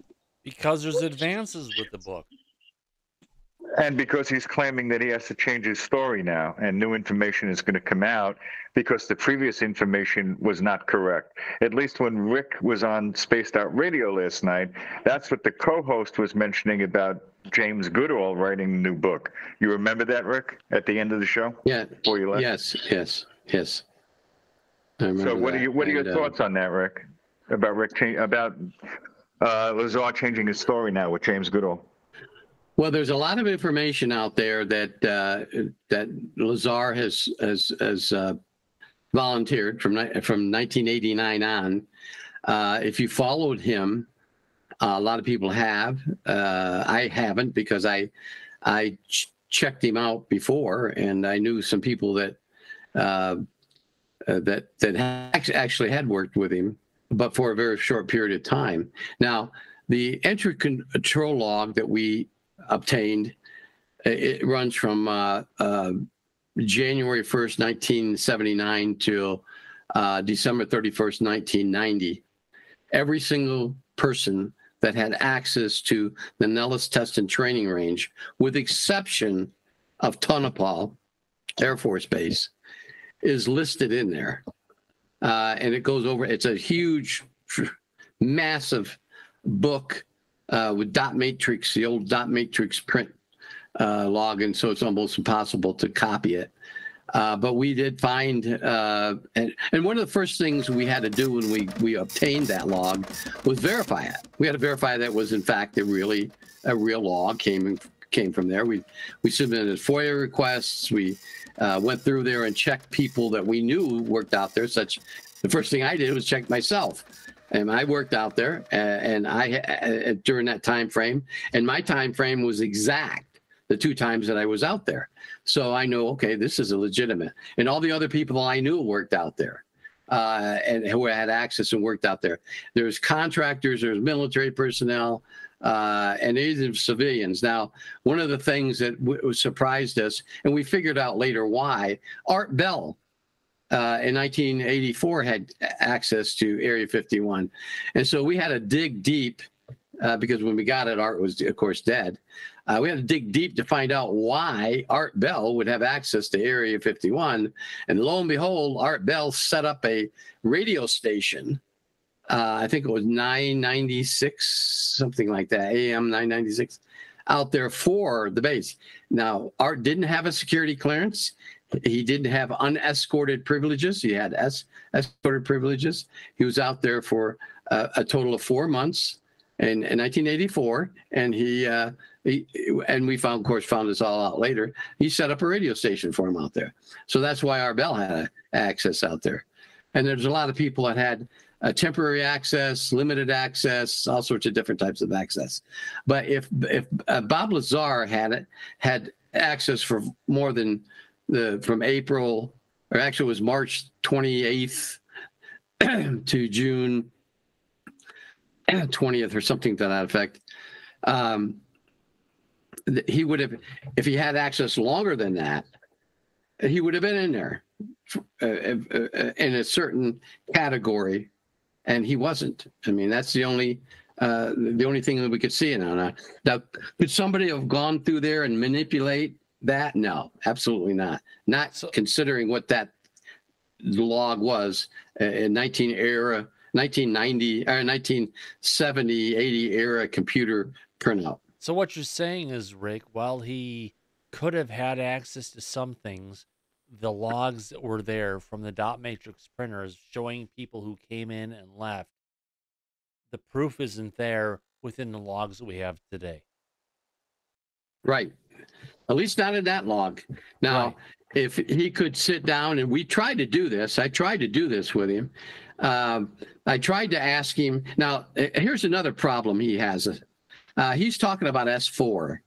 He talks about S4. I worked at S4. I, well, I tell you what, all of us has been there.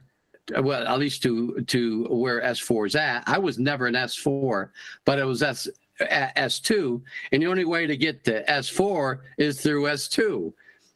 Uh, a- S4 uh, S4 is under S2, so anybody that had access access would say, "Yeah, I, I worked in the S2 complex because S4 was underground." So, and he doesn't say that. He says, "Oh, I work at S4."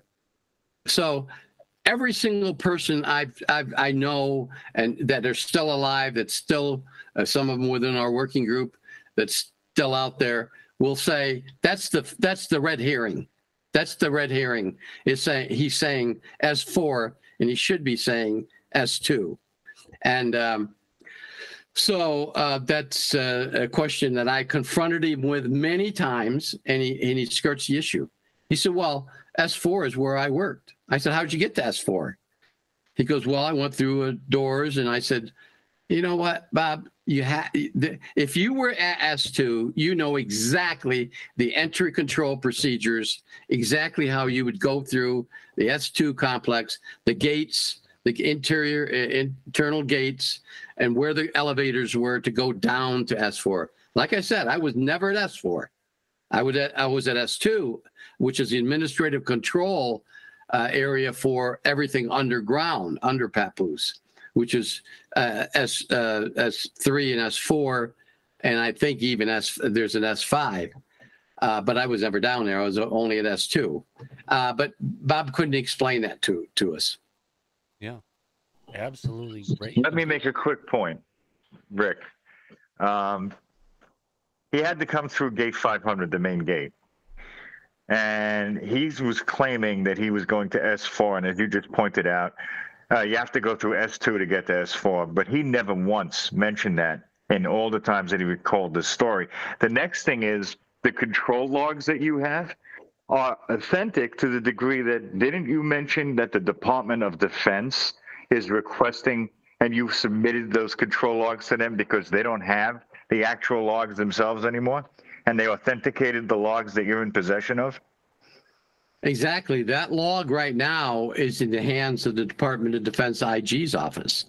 They're, they're, looking through that, and that's one one method they're using to verify and and vet the people who claim to be whistleblowers and it worked out there at Area 51, at least during that time period. Now there are, of course, other logs uh, before and after, which we didn't have access to, but for that 10-year period, that log is is the only one that the DoD IG has, and they're using it. We gave it to them to use uh, to to verify people's employment, uh, and even now um, there's some other. Uh, now, here's here's a here's another uh, uh, thing that Bob Lazar has has said, uh, not so much in public but privately through Jeremy and to George Knapp. Before he was cleared to to work in Area 51, he worked at um, the Nellis Air Force Base, the research complex there. There is a research complex at, at, at Nellis. In fact, you could uh, anybody could get a visitor's badge to get on uh, Nellis Air Force Base, and you could drive up to. You can't get into that area, but you could drive up and and know that it exists. So uh, I, I, and so he's claiming, oh, before I could get out Area 51, uh, I worked there at Nellis, and I worked there for a number of of of, uh, of, of months, I guess, and and that's where he he claimed he met um, um, uh, what's his name, Edward. Um, oh, the, the the the father of the hydrogen bomb. Edward Teller. Uh, Edward Teller. Teller, Edward Teller, Yeah. where he he he worked with Ed, Edward Teller. As last Um, the finest brings up really quick, didn't Lazar say they told employees not to look around? Is it possible they didn't know what section he was in the facility? That's true, but there's only one place they can come and sign in for, right, Rick? To get in. Exactly, exactly. This, the it's a complex system. Uh, when I worked out there, uh, it was a very complex system to get in, to actually get in. If you flew in on a Janet flight, you had to go through the same procedure as if as if you if you drove through a gate uh, three, five, or eight hundred, or or or whatever gate you you you actually drive into, and then you can't drive onto uh, through the Nellis Test and Training Range unless you have uh, a certain type of pass. You have to have uh, permission from the commander of the Nellis Test and Training Range to drive a vehicle on. And then, of course, the vehicle has to be inspected and, and so forth.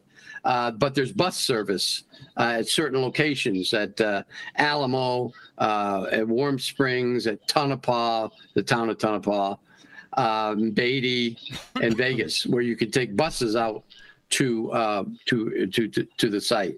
And then, of course, when you get in, security gets on board the bus. There's certain procedures you got to go through uh, that to verify that you who you uh, the, the your badge says you are.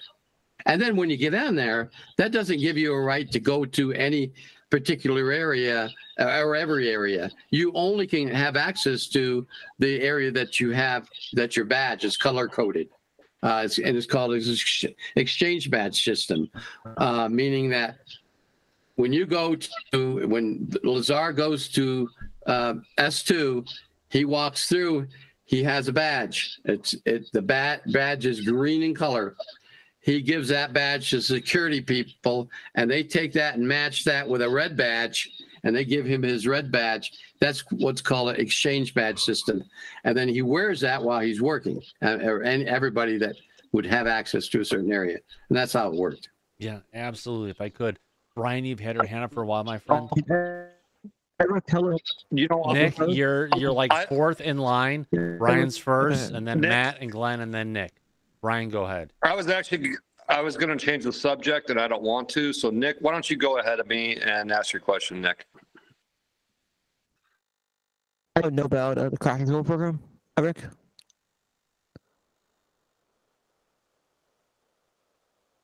I guess not. Say it again, Nick. I- You, I- you I came in didn't hear very it. low.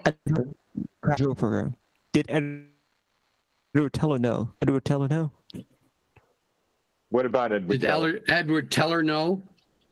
I, I don't I don't know anything about Ed, Ed, I don't know anything about Edward Teller. I met him one time at the uh, Dr. Puthoff's lab, but I I don't know what he knew and what he didn't know. Um, I knew he had access to uh, the facilities out there, but I, I don't know what he knew and what he didn't know. Now, if I may, Rick, I'd like to ask you one question. I appreciate you coming on. Um, we are all talking about Title 10, Title 18, Title 50, et cetera, et cetera.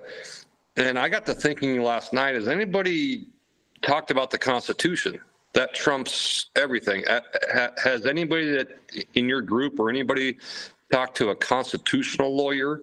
Um, is there any way that we can press on that? There are, I mean, there's there's things in there that I think that are pretty impressive. It's a long play, um, um, many years out, but I think that, I mean, the way that I'm looking at it, that's probably a good way to go. And or if things ever got serious with disclosure, a, a convention of states, which has never happened, but that is enshrined in the Constitution as well. Um, anyway, so that's just my question. If you've ever broached that topic or heard about it. Well, yes, uh, but there's there's a legal uh, hurdles. You ca- you can't enforce. Uh, many years ago, um, in, i when when a law is passed, um, it has to be uh, ratified and uh, uh, it has to be published. And there's all sorts of under Title One, it gives you the administrative uh, procedures for creating a law, and those that law is based on uh, whatever the Congress has passed. But when you when we're we uh, the United States of America isn't a constitutional uh, republic or or democracy. We don't we don't live uh, we we we claim we do, but we actually don't. The governance of the the laws of the United States is enacted by our legislative branch with uh, signature from our executive branch and that's the law. So if you want to say that, you know, under uh, Article One, Clause Two, Section One of the Constitution says that, well, yeah, it does say that, but it, it doesn't mean that that, that that we could use that in in, in the sense of a law. I mean, you have to have a law that's written uh, and and a a, good ratified. constitutional lawyer, if I may, may uh, may be able to make a good case on some of this stuff, but it takes a lot of time and money. I I I, I understand that, but I, you know, for example, for the common defense, I mean, you could make arguments there on both sides. Um, Anyways, I was just thinking about that last night. I was just curious. Um, but I do want to bring up one other point. I'm wearing my Titan missile shirt.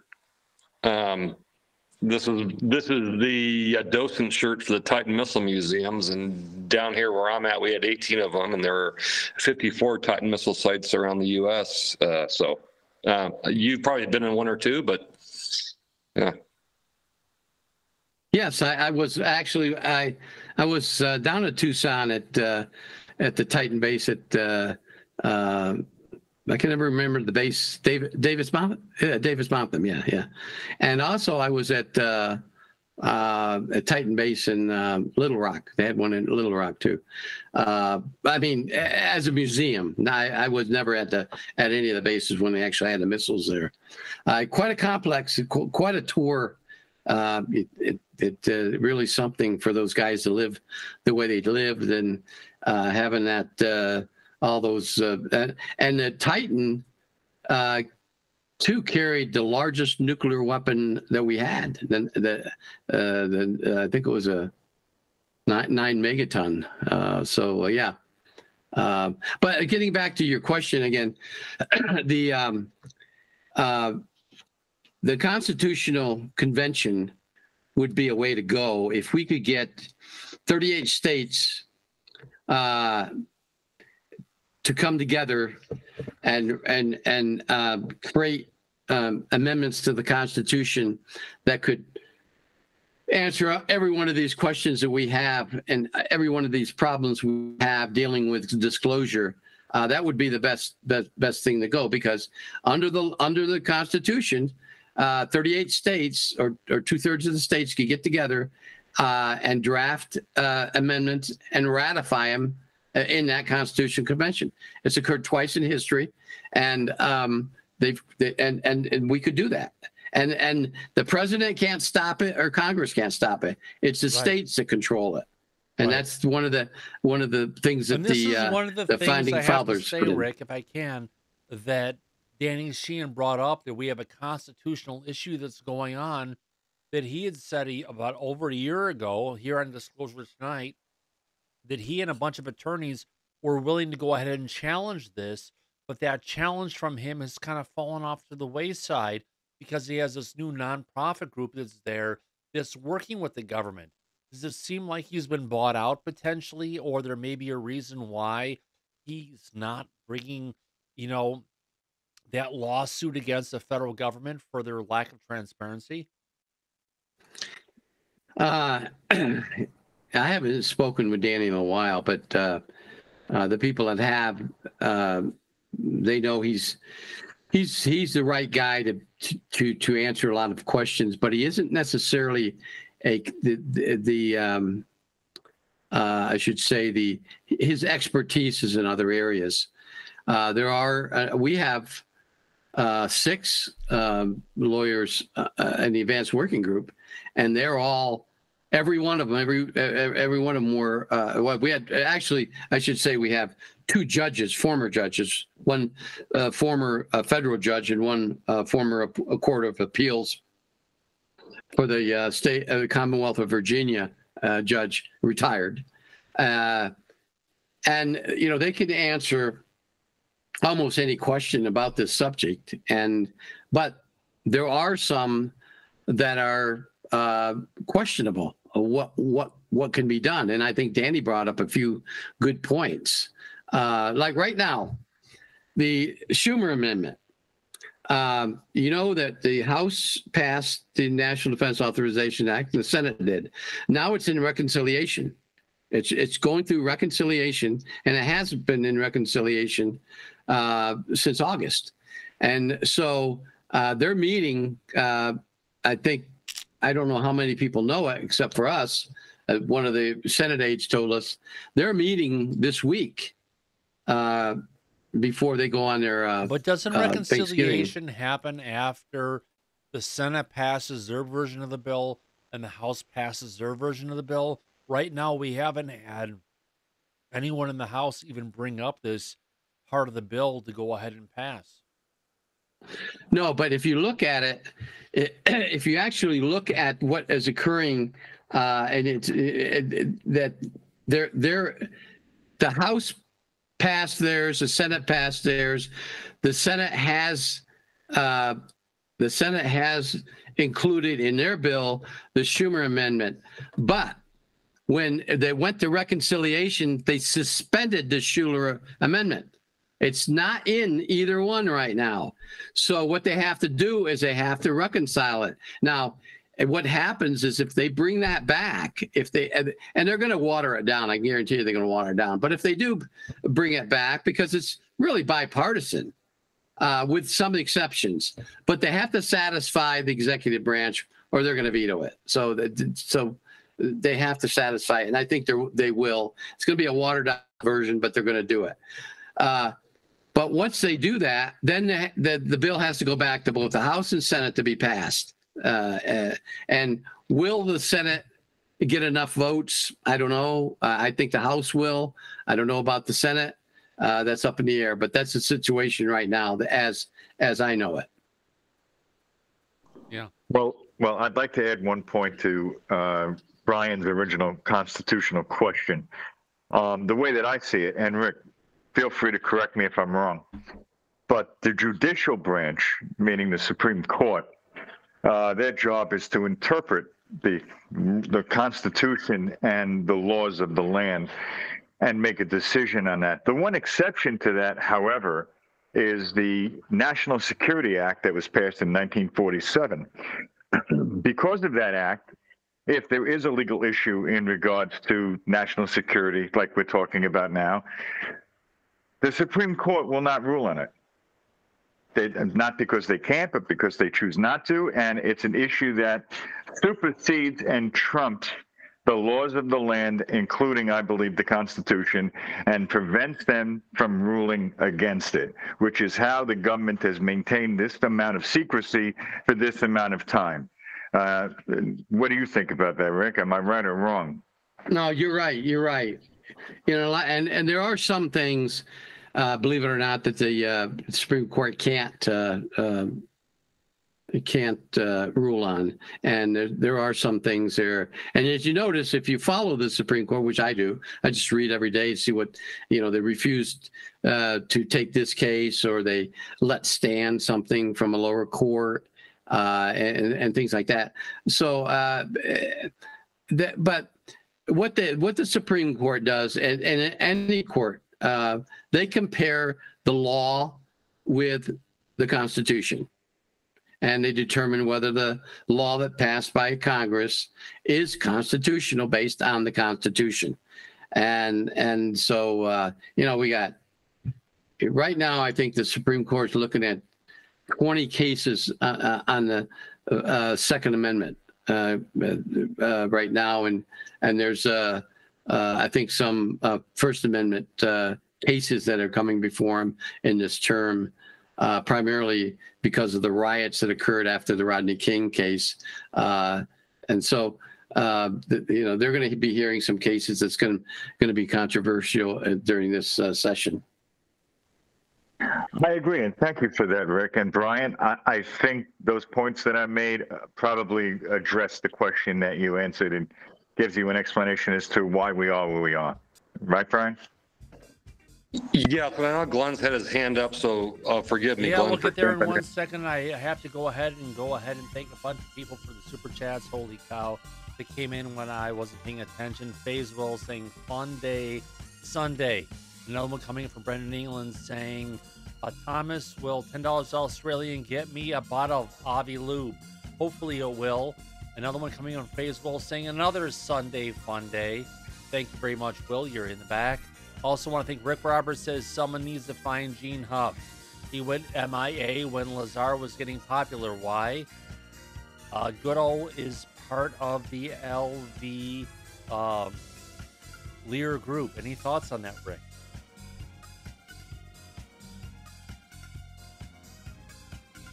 Sorry, sorry about that. Yeah, um, I, I don't know. I I know I know.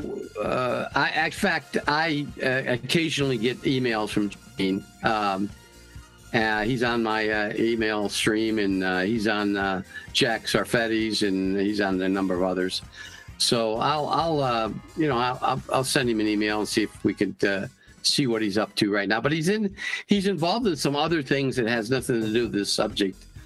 He's uh, um, he's really into the uh, wild horses, protection of wild horses in the state of Nevada and Utah.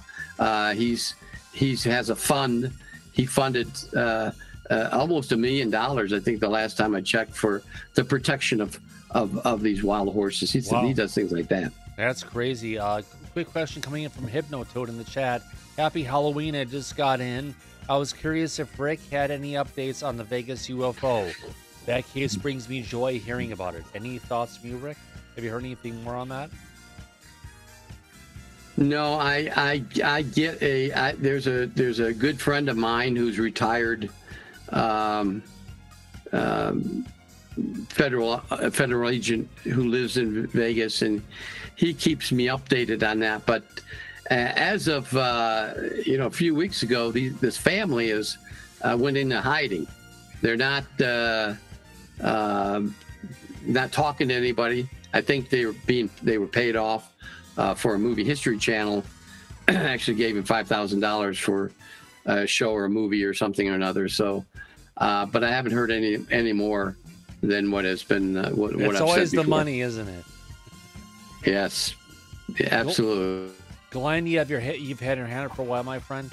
Yeah, I have. Sorry, I'm going to bring the conversation back to where I have a hand up. But sorry, Rick. Um, I don't know if it was discussed earlier. I've only just come back from work. But um, did you guys know, or have you talked about it before, that Lazar or some people were making up a movie for Lazar? Making a movie? Yeah, they're making a movie about him, and then and they're and they're doing it um, exactly to his specifications. So that'll be interesting. Yeah, I mean, you know, uh, one of the things about that. Sorry, sorry, Rick. You'll be able to you'll be able to discount it straight away as soon as you see it. A Lazar movie, really? No, we're, I know we're already talking about it. I know. Thomas, that's disgusting. I'm just, I I like am just being things. honest. A Lazar movie, really? And we're going to get the truth this time? What about all the other truth he's been telling us for all these years, Glenn? What What did you say? No, I'm just bringing it up. So anyway, did you say it's going to be a stand-up philosopher movie, Thomas? Well, it could be. I was just wondering if Rick knew about it and um, what Rick was going to say.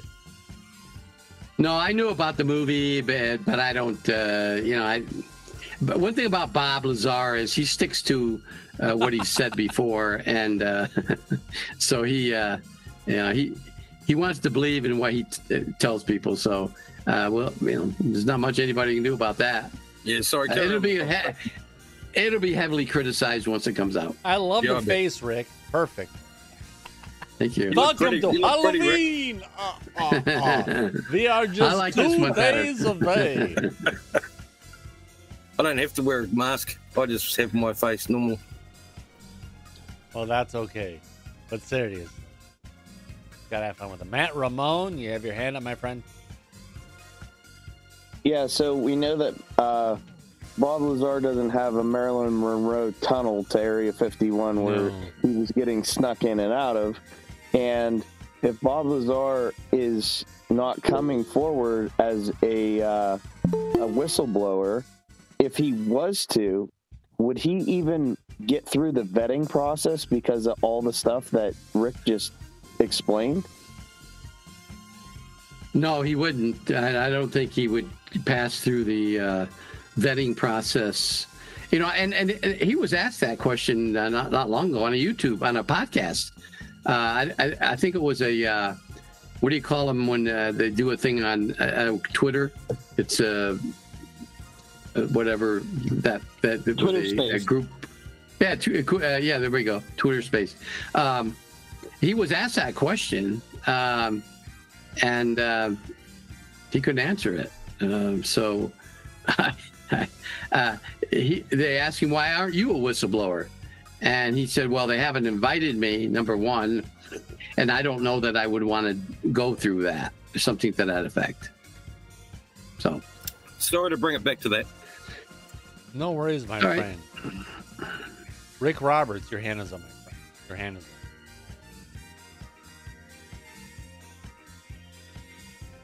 Rick. Not Nope, can you hear Rick me? Doty, Yep. Rick Roberts. All right. Uh, regardless of what you think of Bob Lazar, you either think it's bull crapper or you think it's telling truth. It's a great campfire story. I think we can all agree upon that. Um, you know, if there's a sliver of truth or not in there, whatever. But it brings people to this topic. I mean, people watch that movie and then they find out, okay, well, they, there's more to this. There is, you know, so you got to appreciate it for that aspect of it. Even if he's, a t- if we find out years from now that he was the biggest bullshit artist. But the other thing I was going to say too is, uh, just change the subject a little bit. Are there any thoughts on who could be Kirkpatrick's handlers that they're talking about? And I kind of wondering if it's people that that commonly come up like Hal Puthoff. I mean, is he a handler Oh that no, it's not Kirkpatrick? Hal Puthoff. We're talking about people like Ronald Moultrie, people inside the DoD who are trying to keep the truth from coming out, not people who are there who are trying to keep the who are trying to bring forward the truth. That's the difference, right, Rick? right, yeah, absolutely. That's not. Uh, I guarantee it's not Hal. Uh, it's uh, and we have been. Uh, in fact, uh, recently, I think uh, last Wednesday or Tuesday or Wednesday, somebody, people from another group, accused us of being on the side with Sean Kirkpatrick, and I can guarantee you that that we're not. Oh my God, who was who was actually going out? God, saying you were a a Kirkpatrick collaborator. That is like the biggest insult that anybody could have. Yeah, that's a, another group involving, uh, I think, mostly um, academia. Oh my God, Mike, what do you what are your thoughts on that? Oh, I can tell you what my thoughts are to address this this question that was just asked. Look at Ronald Moultrie. He was heavily involved with Raytheon, which is a private company, and he right. right. So if you want to dig deep into who could potentially be on that security, that secret uh, advisory council that Kirkpatrick uh, is running and deciding policy for AARO, I think you should look in that direction because it, it goes right up the, the, the chain of command, in my opinion. Do you think they'll be exposed soon? Because I think it's coming down to is there something going on with Kirkpatrick where, where it leaked out that he does have this, this panel that he reports to. So you think it's, the names are going to come out very soon? We're working on it. We'll keep you posted. Something will break on this. You got you got Frank uh, Frank Kendall, the Secretary of the Air Force, who used to work for Raytheon. Right. Uh, you got Christian Jones, who you used to work for a contractor. You have the, the Deputy Chief Scientist Victoria Coleman, who worked for uh, uh, DARPA. She was head of DARPA. Uh, these people are all in government right now, and I wouldn't. Uh, uh, uh, I dare say that probably any one of these people are the ones that are controlling uh, the puppet strings of of Sean Kirkpatrick. And AARO and that secret advisor. And AARO. council. Yeah. So if they change seats, let's say they put Lue Lue Elizondo in charge of Kirk. I've heard like they were talking about putting Lue Elizondo where Kirkpatrick is.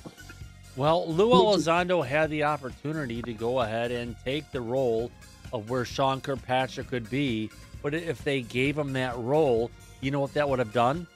That would have shut him up. It would have muzzled Lue Elizondo, and that was the last thing he wanted to take that opportunity to go ahead and take because, yes, it would have been a job, it would have been for a period of time, but the reality was, although he had the opportunity uh, ahead of Sean Kirkpatrick, that would have muzzled him effectively from lobbying Congress, lobbying other people to go ahead and bring the truth out. So, you know, so regardless it- of Kirkpatrick or whoever takes that role, they're going to be silenced. Is basically don't Yeah. don't trust them. they'll they'll be working for the DoD again, and muzzled by the the reality of the DoD. But we've seen how muzzled Kirkpatrick has been with the DoD, especially when he had his paper that came out with Avi Loeb earlier this year, where he talked about Oumuamua coming flying in with within our solar system and dropping off drones that would parachute into our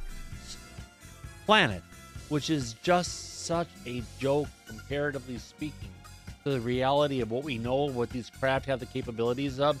How would they lower it down to such a low capability? You know what I mean, Glenn?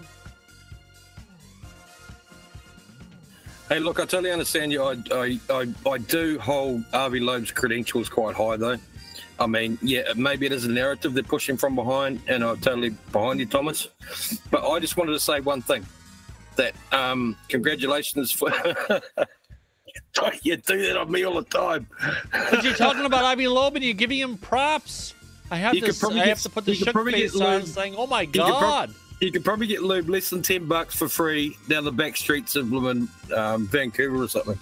But um, hey, um, I just want to congratulate on the seven k subscriptions because Thank I've you been very working much, hard sir. Thank you and- very much. Working hard to try and get my friends over. We worked hard to to get to seven thousand. You know, you know what helped was actually going ahead and showing the counter on the screen. It showed people how close we were at, and it actually helped people go ahead and hit that subscribe button to help us Yeah. get to that point.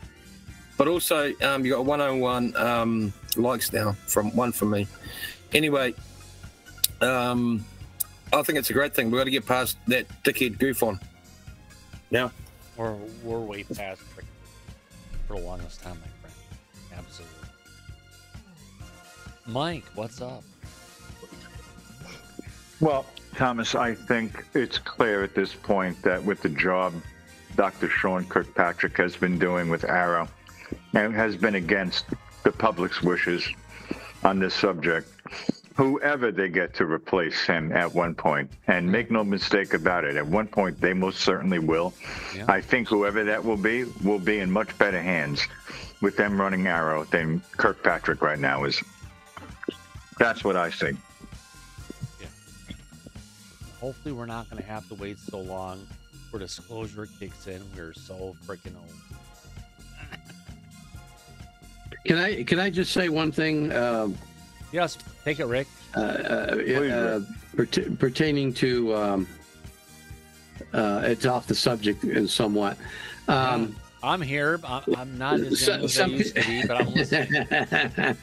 so, um, a certain person submitted a FOIA request um, some time ago. Actually, it was over a year ago uh, through DIA for anything on Serpo, the Serpo story. And one of the interesting things that this guy got back was uh, a, a, a, a short letter saying, Are you talking about Serpo? And then the explanation next to it um, Serpo meaning secret extraterrestrial remote planet operation. And uh, the, the letter actually asked the, the person who submitted the FOIA request, is that what you're talking about? Or are you talking about something else? Um, and he just got this not long ago. Uh, he submitted it over a year ago, and you know, because of COVID and things, it, and he thought that was quite interesting because I've heard this once before, a long time ago, that Serpo actually meant that secret extraterrestrial remote planet operations. Now, what does DIA claim that to be? They they didn't explain, but I just thought that was interesting, and I just wanted to throw that out there. It is interesting. I agree, Rick, but I can tell you that they didn't answer the request. They instead asked the question, which is another tactic that they use. So it doesn't surprise me. Now he'll, he'll have to wait another year for a response. Uh, yeah, exactly. That's what they do. That's how it works with them. So, yeah, it's interesting. But as far as that's concerned, there's been a lot of people over the years that have looked very deep and hard on it and have debunked it to a large degree. So, I'd, I'd be more interested to see if they offered a response if it was something other than what's commonly known in regards to the Serpo story. That itself might be actually more interesting, I think, in my opinion. Yeah. Go ahead, Thomas. Uh, I do- I Tony do has his too. hand up. Oh, sorry. No, no, it's okay. Rick, continue with that. Oh, I, I do too because if if you tried to figure out what that meant, secret extraterrestrial remote planet operations, uh, that that would that would uh, uh, generate a hundred different questions from people saying, "Whoa, whoa, wait a minute, what does that mean? Uh, I mean, is that really? It's not the name of the planet, but is it a DIA operation that we are exchanging people with other planets because that could that that's what it could mean secret extraterrestrial remote planet operations and, and, and to me that might mean that we are exchanging uh, we do have an exchange program Well, look at Oppenheimer. It's, it's the most perfect, pla- mo- most perfect country to hide uh, secrets, eh? yeah i agree Thomas, uh, Tony has his hand up. is and aged so does after that Brian. question. Tony, go ahead, my friend. I guess on the Serpo stuff, hey Rick, have you um, heard much people being sheep dipped? Um, that whole story about the guy that was sheep dipped, meaning completely identity completely just destroyed for common society, and no one knows who the guy is anymore, and no family members, nobody knows at all anything about him. They call it sheep dipping. oh that's common within the department of defense uh, uh, special operations people uh, spies working behind enemy lines that's that's uh, that's commonplace. Uh, we used to have a a uh, unit in uh, uh, Fort Belvoir, 7602nd Air Intelligence Wing, and they had a particular section, the R A A ROA section, uh, that had people who had virtually uh, one day no identity and the next day a hundred different identities, um, and they were all sheep dipped. They were military people, but they were completely sheep dipped, so they could go out and do things uh, that are uh, probably against the law, but a lot of things they could do. Clandestine entries, uh, covert operations, things like that that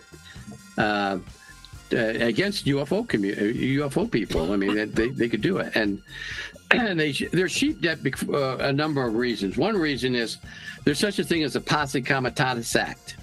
Uh, that act was created in 1878. It prevents the United States military from enforcing civil law. With, then there's exceptions to that riot, insurrections.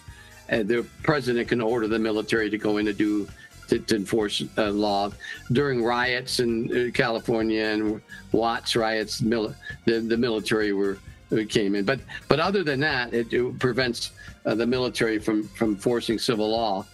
And so to get around that, they sheep dip the people, and now they're not technically in the military. So yeah, it happens all the time. Well, well, not just that, but it's a common government practice as well with our mutual background in law enforcement. Uh, they do that and use it for witness protection as well, right, Rick? Yeah, absolutely. Yeah. Yeah. Interesting conversation to say the least. What a great time, a great opportunity to go ahead and hang out with friends.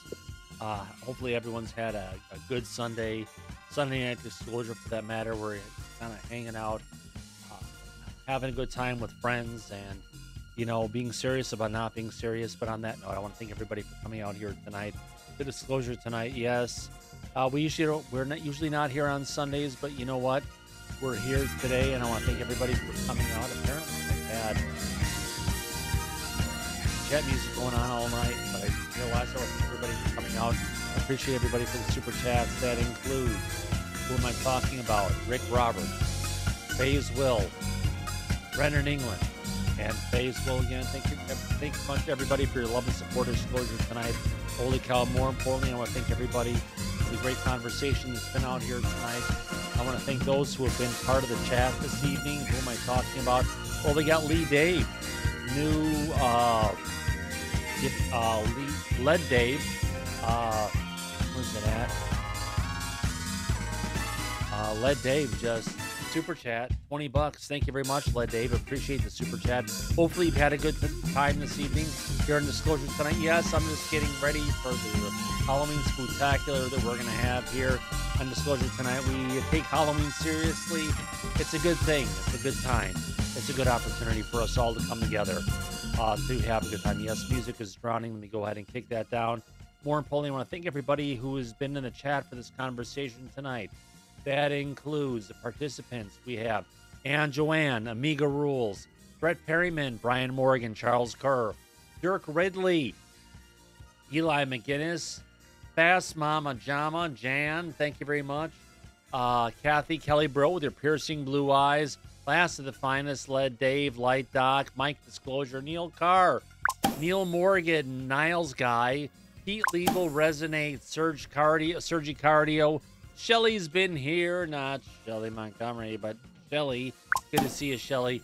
The Demon has been here along with Raz Mataz. It's great to have everybody coming around here this evening on Disclosure today. And more importantly, it's not just about the people who have given us super chats, about the people in the in the, in out in the chat who have been here. It's about the people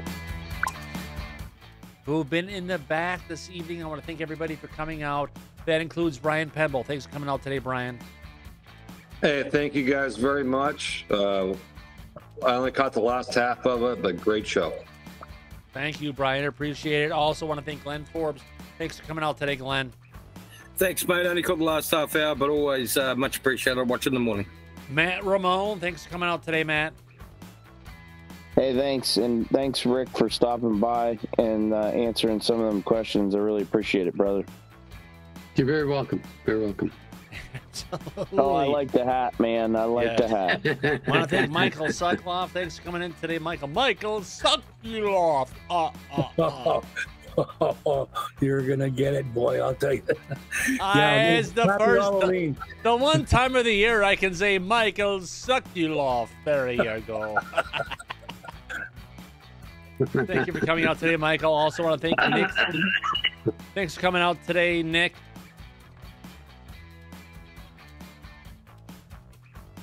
None ya business. Thanks for coming out here today, Susan Ford, all the way our little Aussie friend from Australia. What a great show, Thomas. What an absolutely great show. Oh my God. Thank you, Rick, for coming today. It was awesome. Yeah. You're very welcome. You're very welcome. fun. Absolutely. Want to also want to thank Rick Roberts. Thanks for coming out today, Rick. Anytime. Congratulations on 7,000. Onward to 8,000. Uh, we'll get to 8,000 next, my friend. Also, want to come in to today, Tony. Thanks for coming in, my friend. Appreciate you being here. Hey, thanks, Thomas, and uh, happy belated birthday to Mike, and thanks for Rick for stopping by. Talking about Mike welcome. Thank you. Disclosure. Uh, uh, uh, thanks for coming in today, Mike. It was supposed to be my day off, but it was another fun show tonight, Thomas. I'm glad we I did know. it. You know, we can blame on this the man who bailed before everybody else. Patrick is like, "Are we having a show today?" It's like, uh, I guess, but I had to get I had to get the show put together for for Monday, Tuesday, but either way. No, I'm glad you did it, and so is everybody else. It was fun tonight. Everyone got a kick out of it. Did I did I thank Faze Will for coming out today? I don't think I did. Uh, no, not yet. Treat. Yeah, trick or treat. Uh, Thomas, good, good Trick show. or treat. Uh, uh, uh, Trick or treat, three. Thanks for coming out. Suck some blood. Suck some blood tonight. Ow. You better believe it. Also want to thank uh, Reality Check, Hollywood Herald. Thanks for coming out. Wouldn't have missed it, man. Wouldn't have missed it. A little bit more relaxed tonight. I like. I Yeah. like this format. Seven days a fucking week. Who would have thought? All yeah, right. yeah, who would have? We just jumped from five to seven. oh boy. It's the audience Hey, two, benefit. two weeks in a row, Thomas. Two weeks in a row.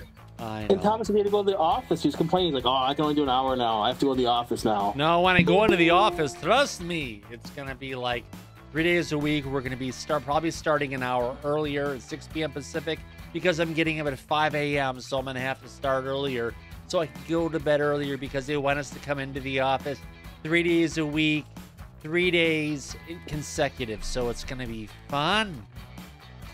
It's all right. Michael, pick up on those other days. I know. We'll get to that one. Also, want to thank Rick Doty. Thanks for coming out today, Rick.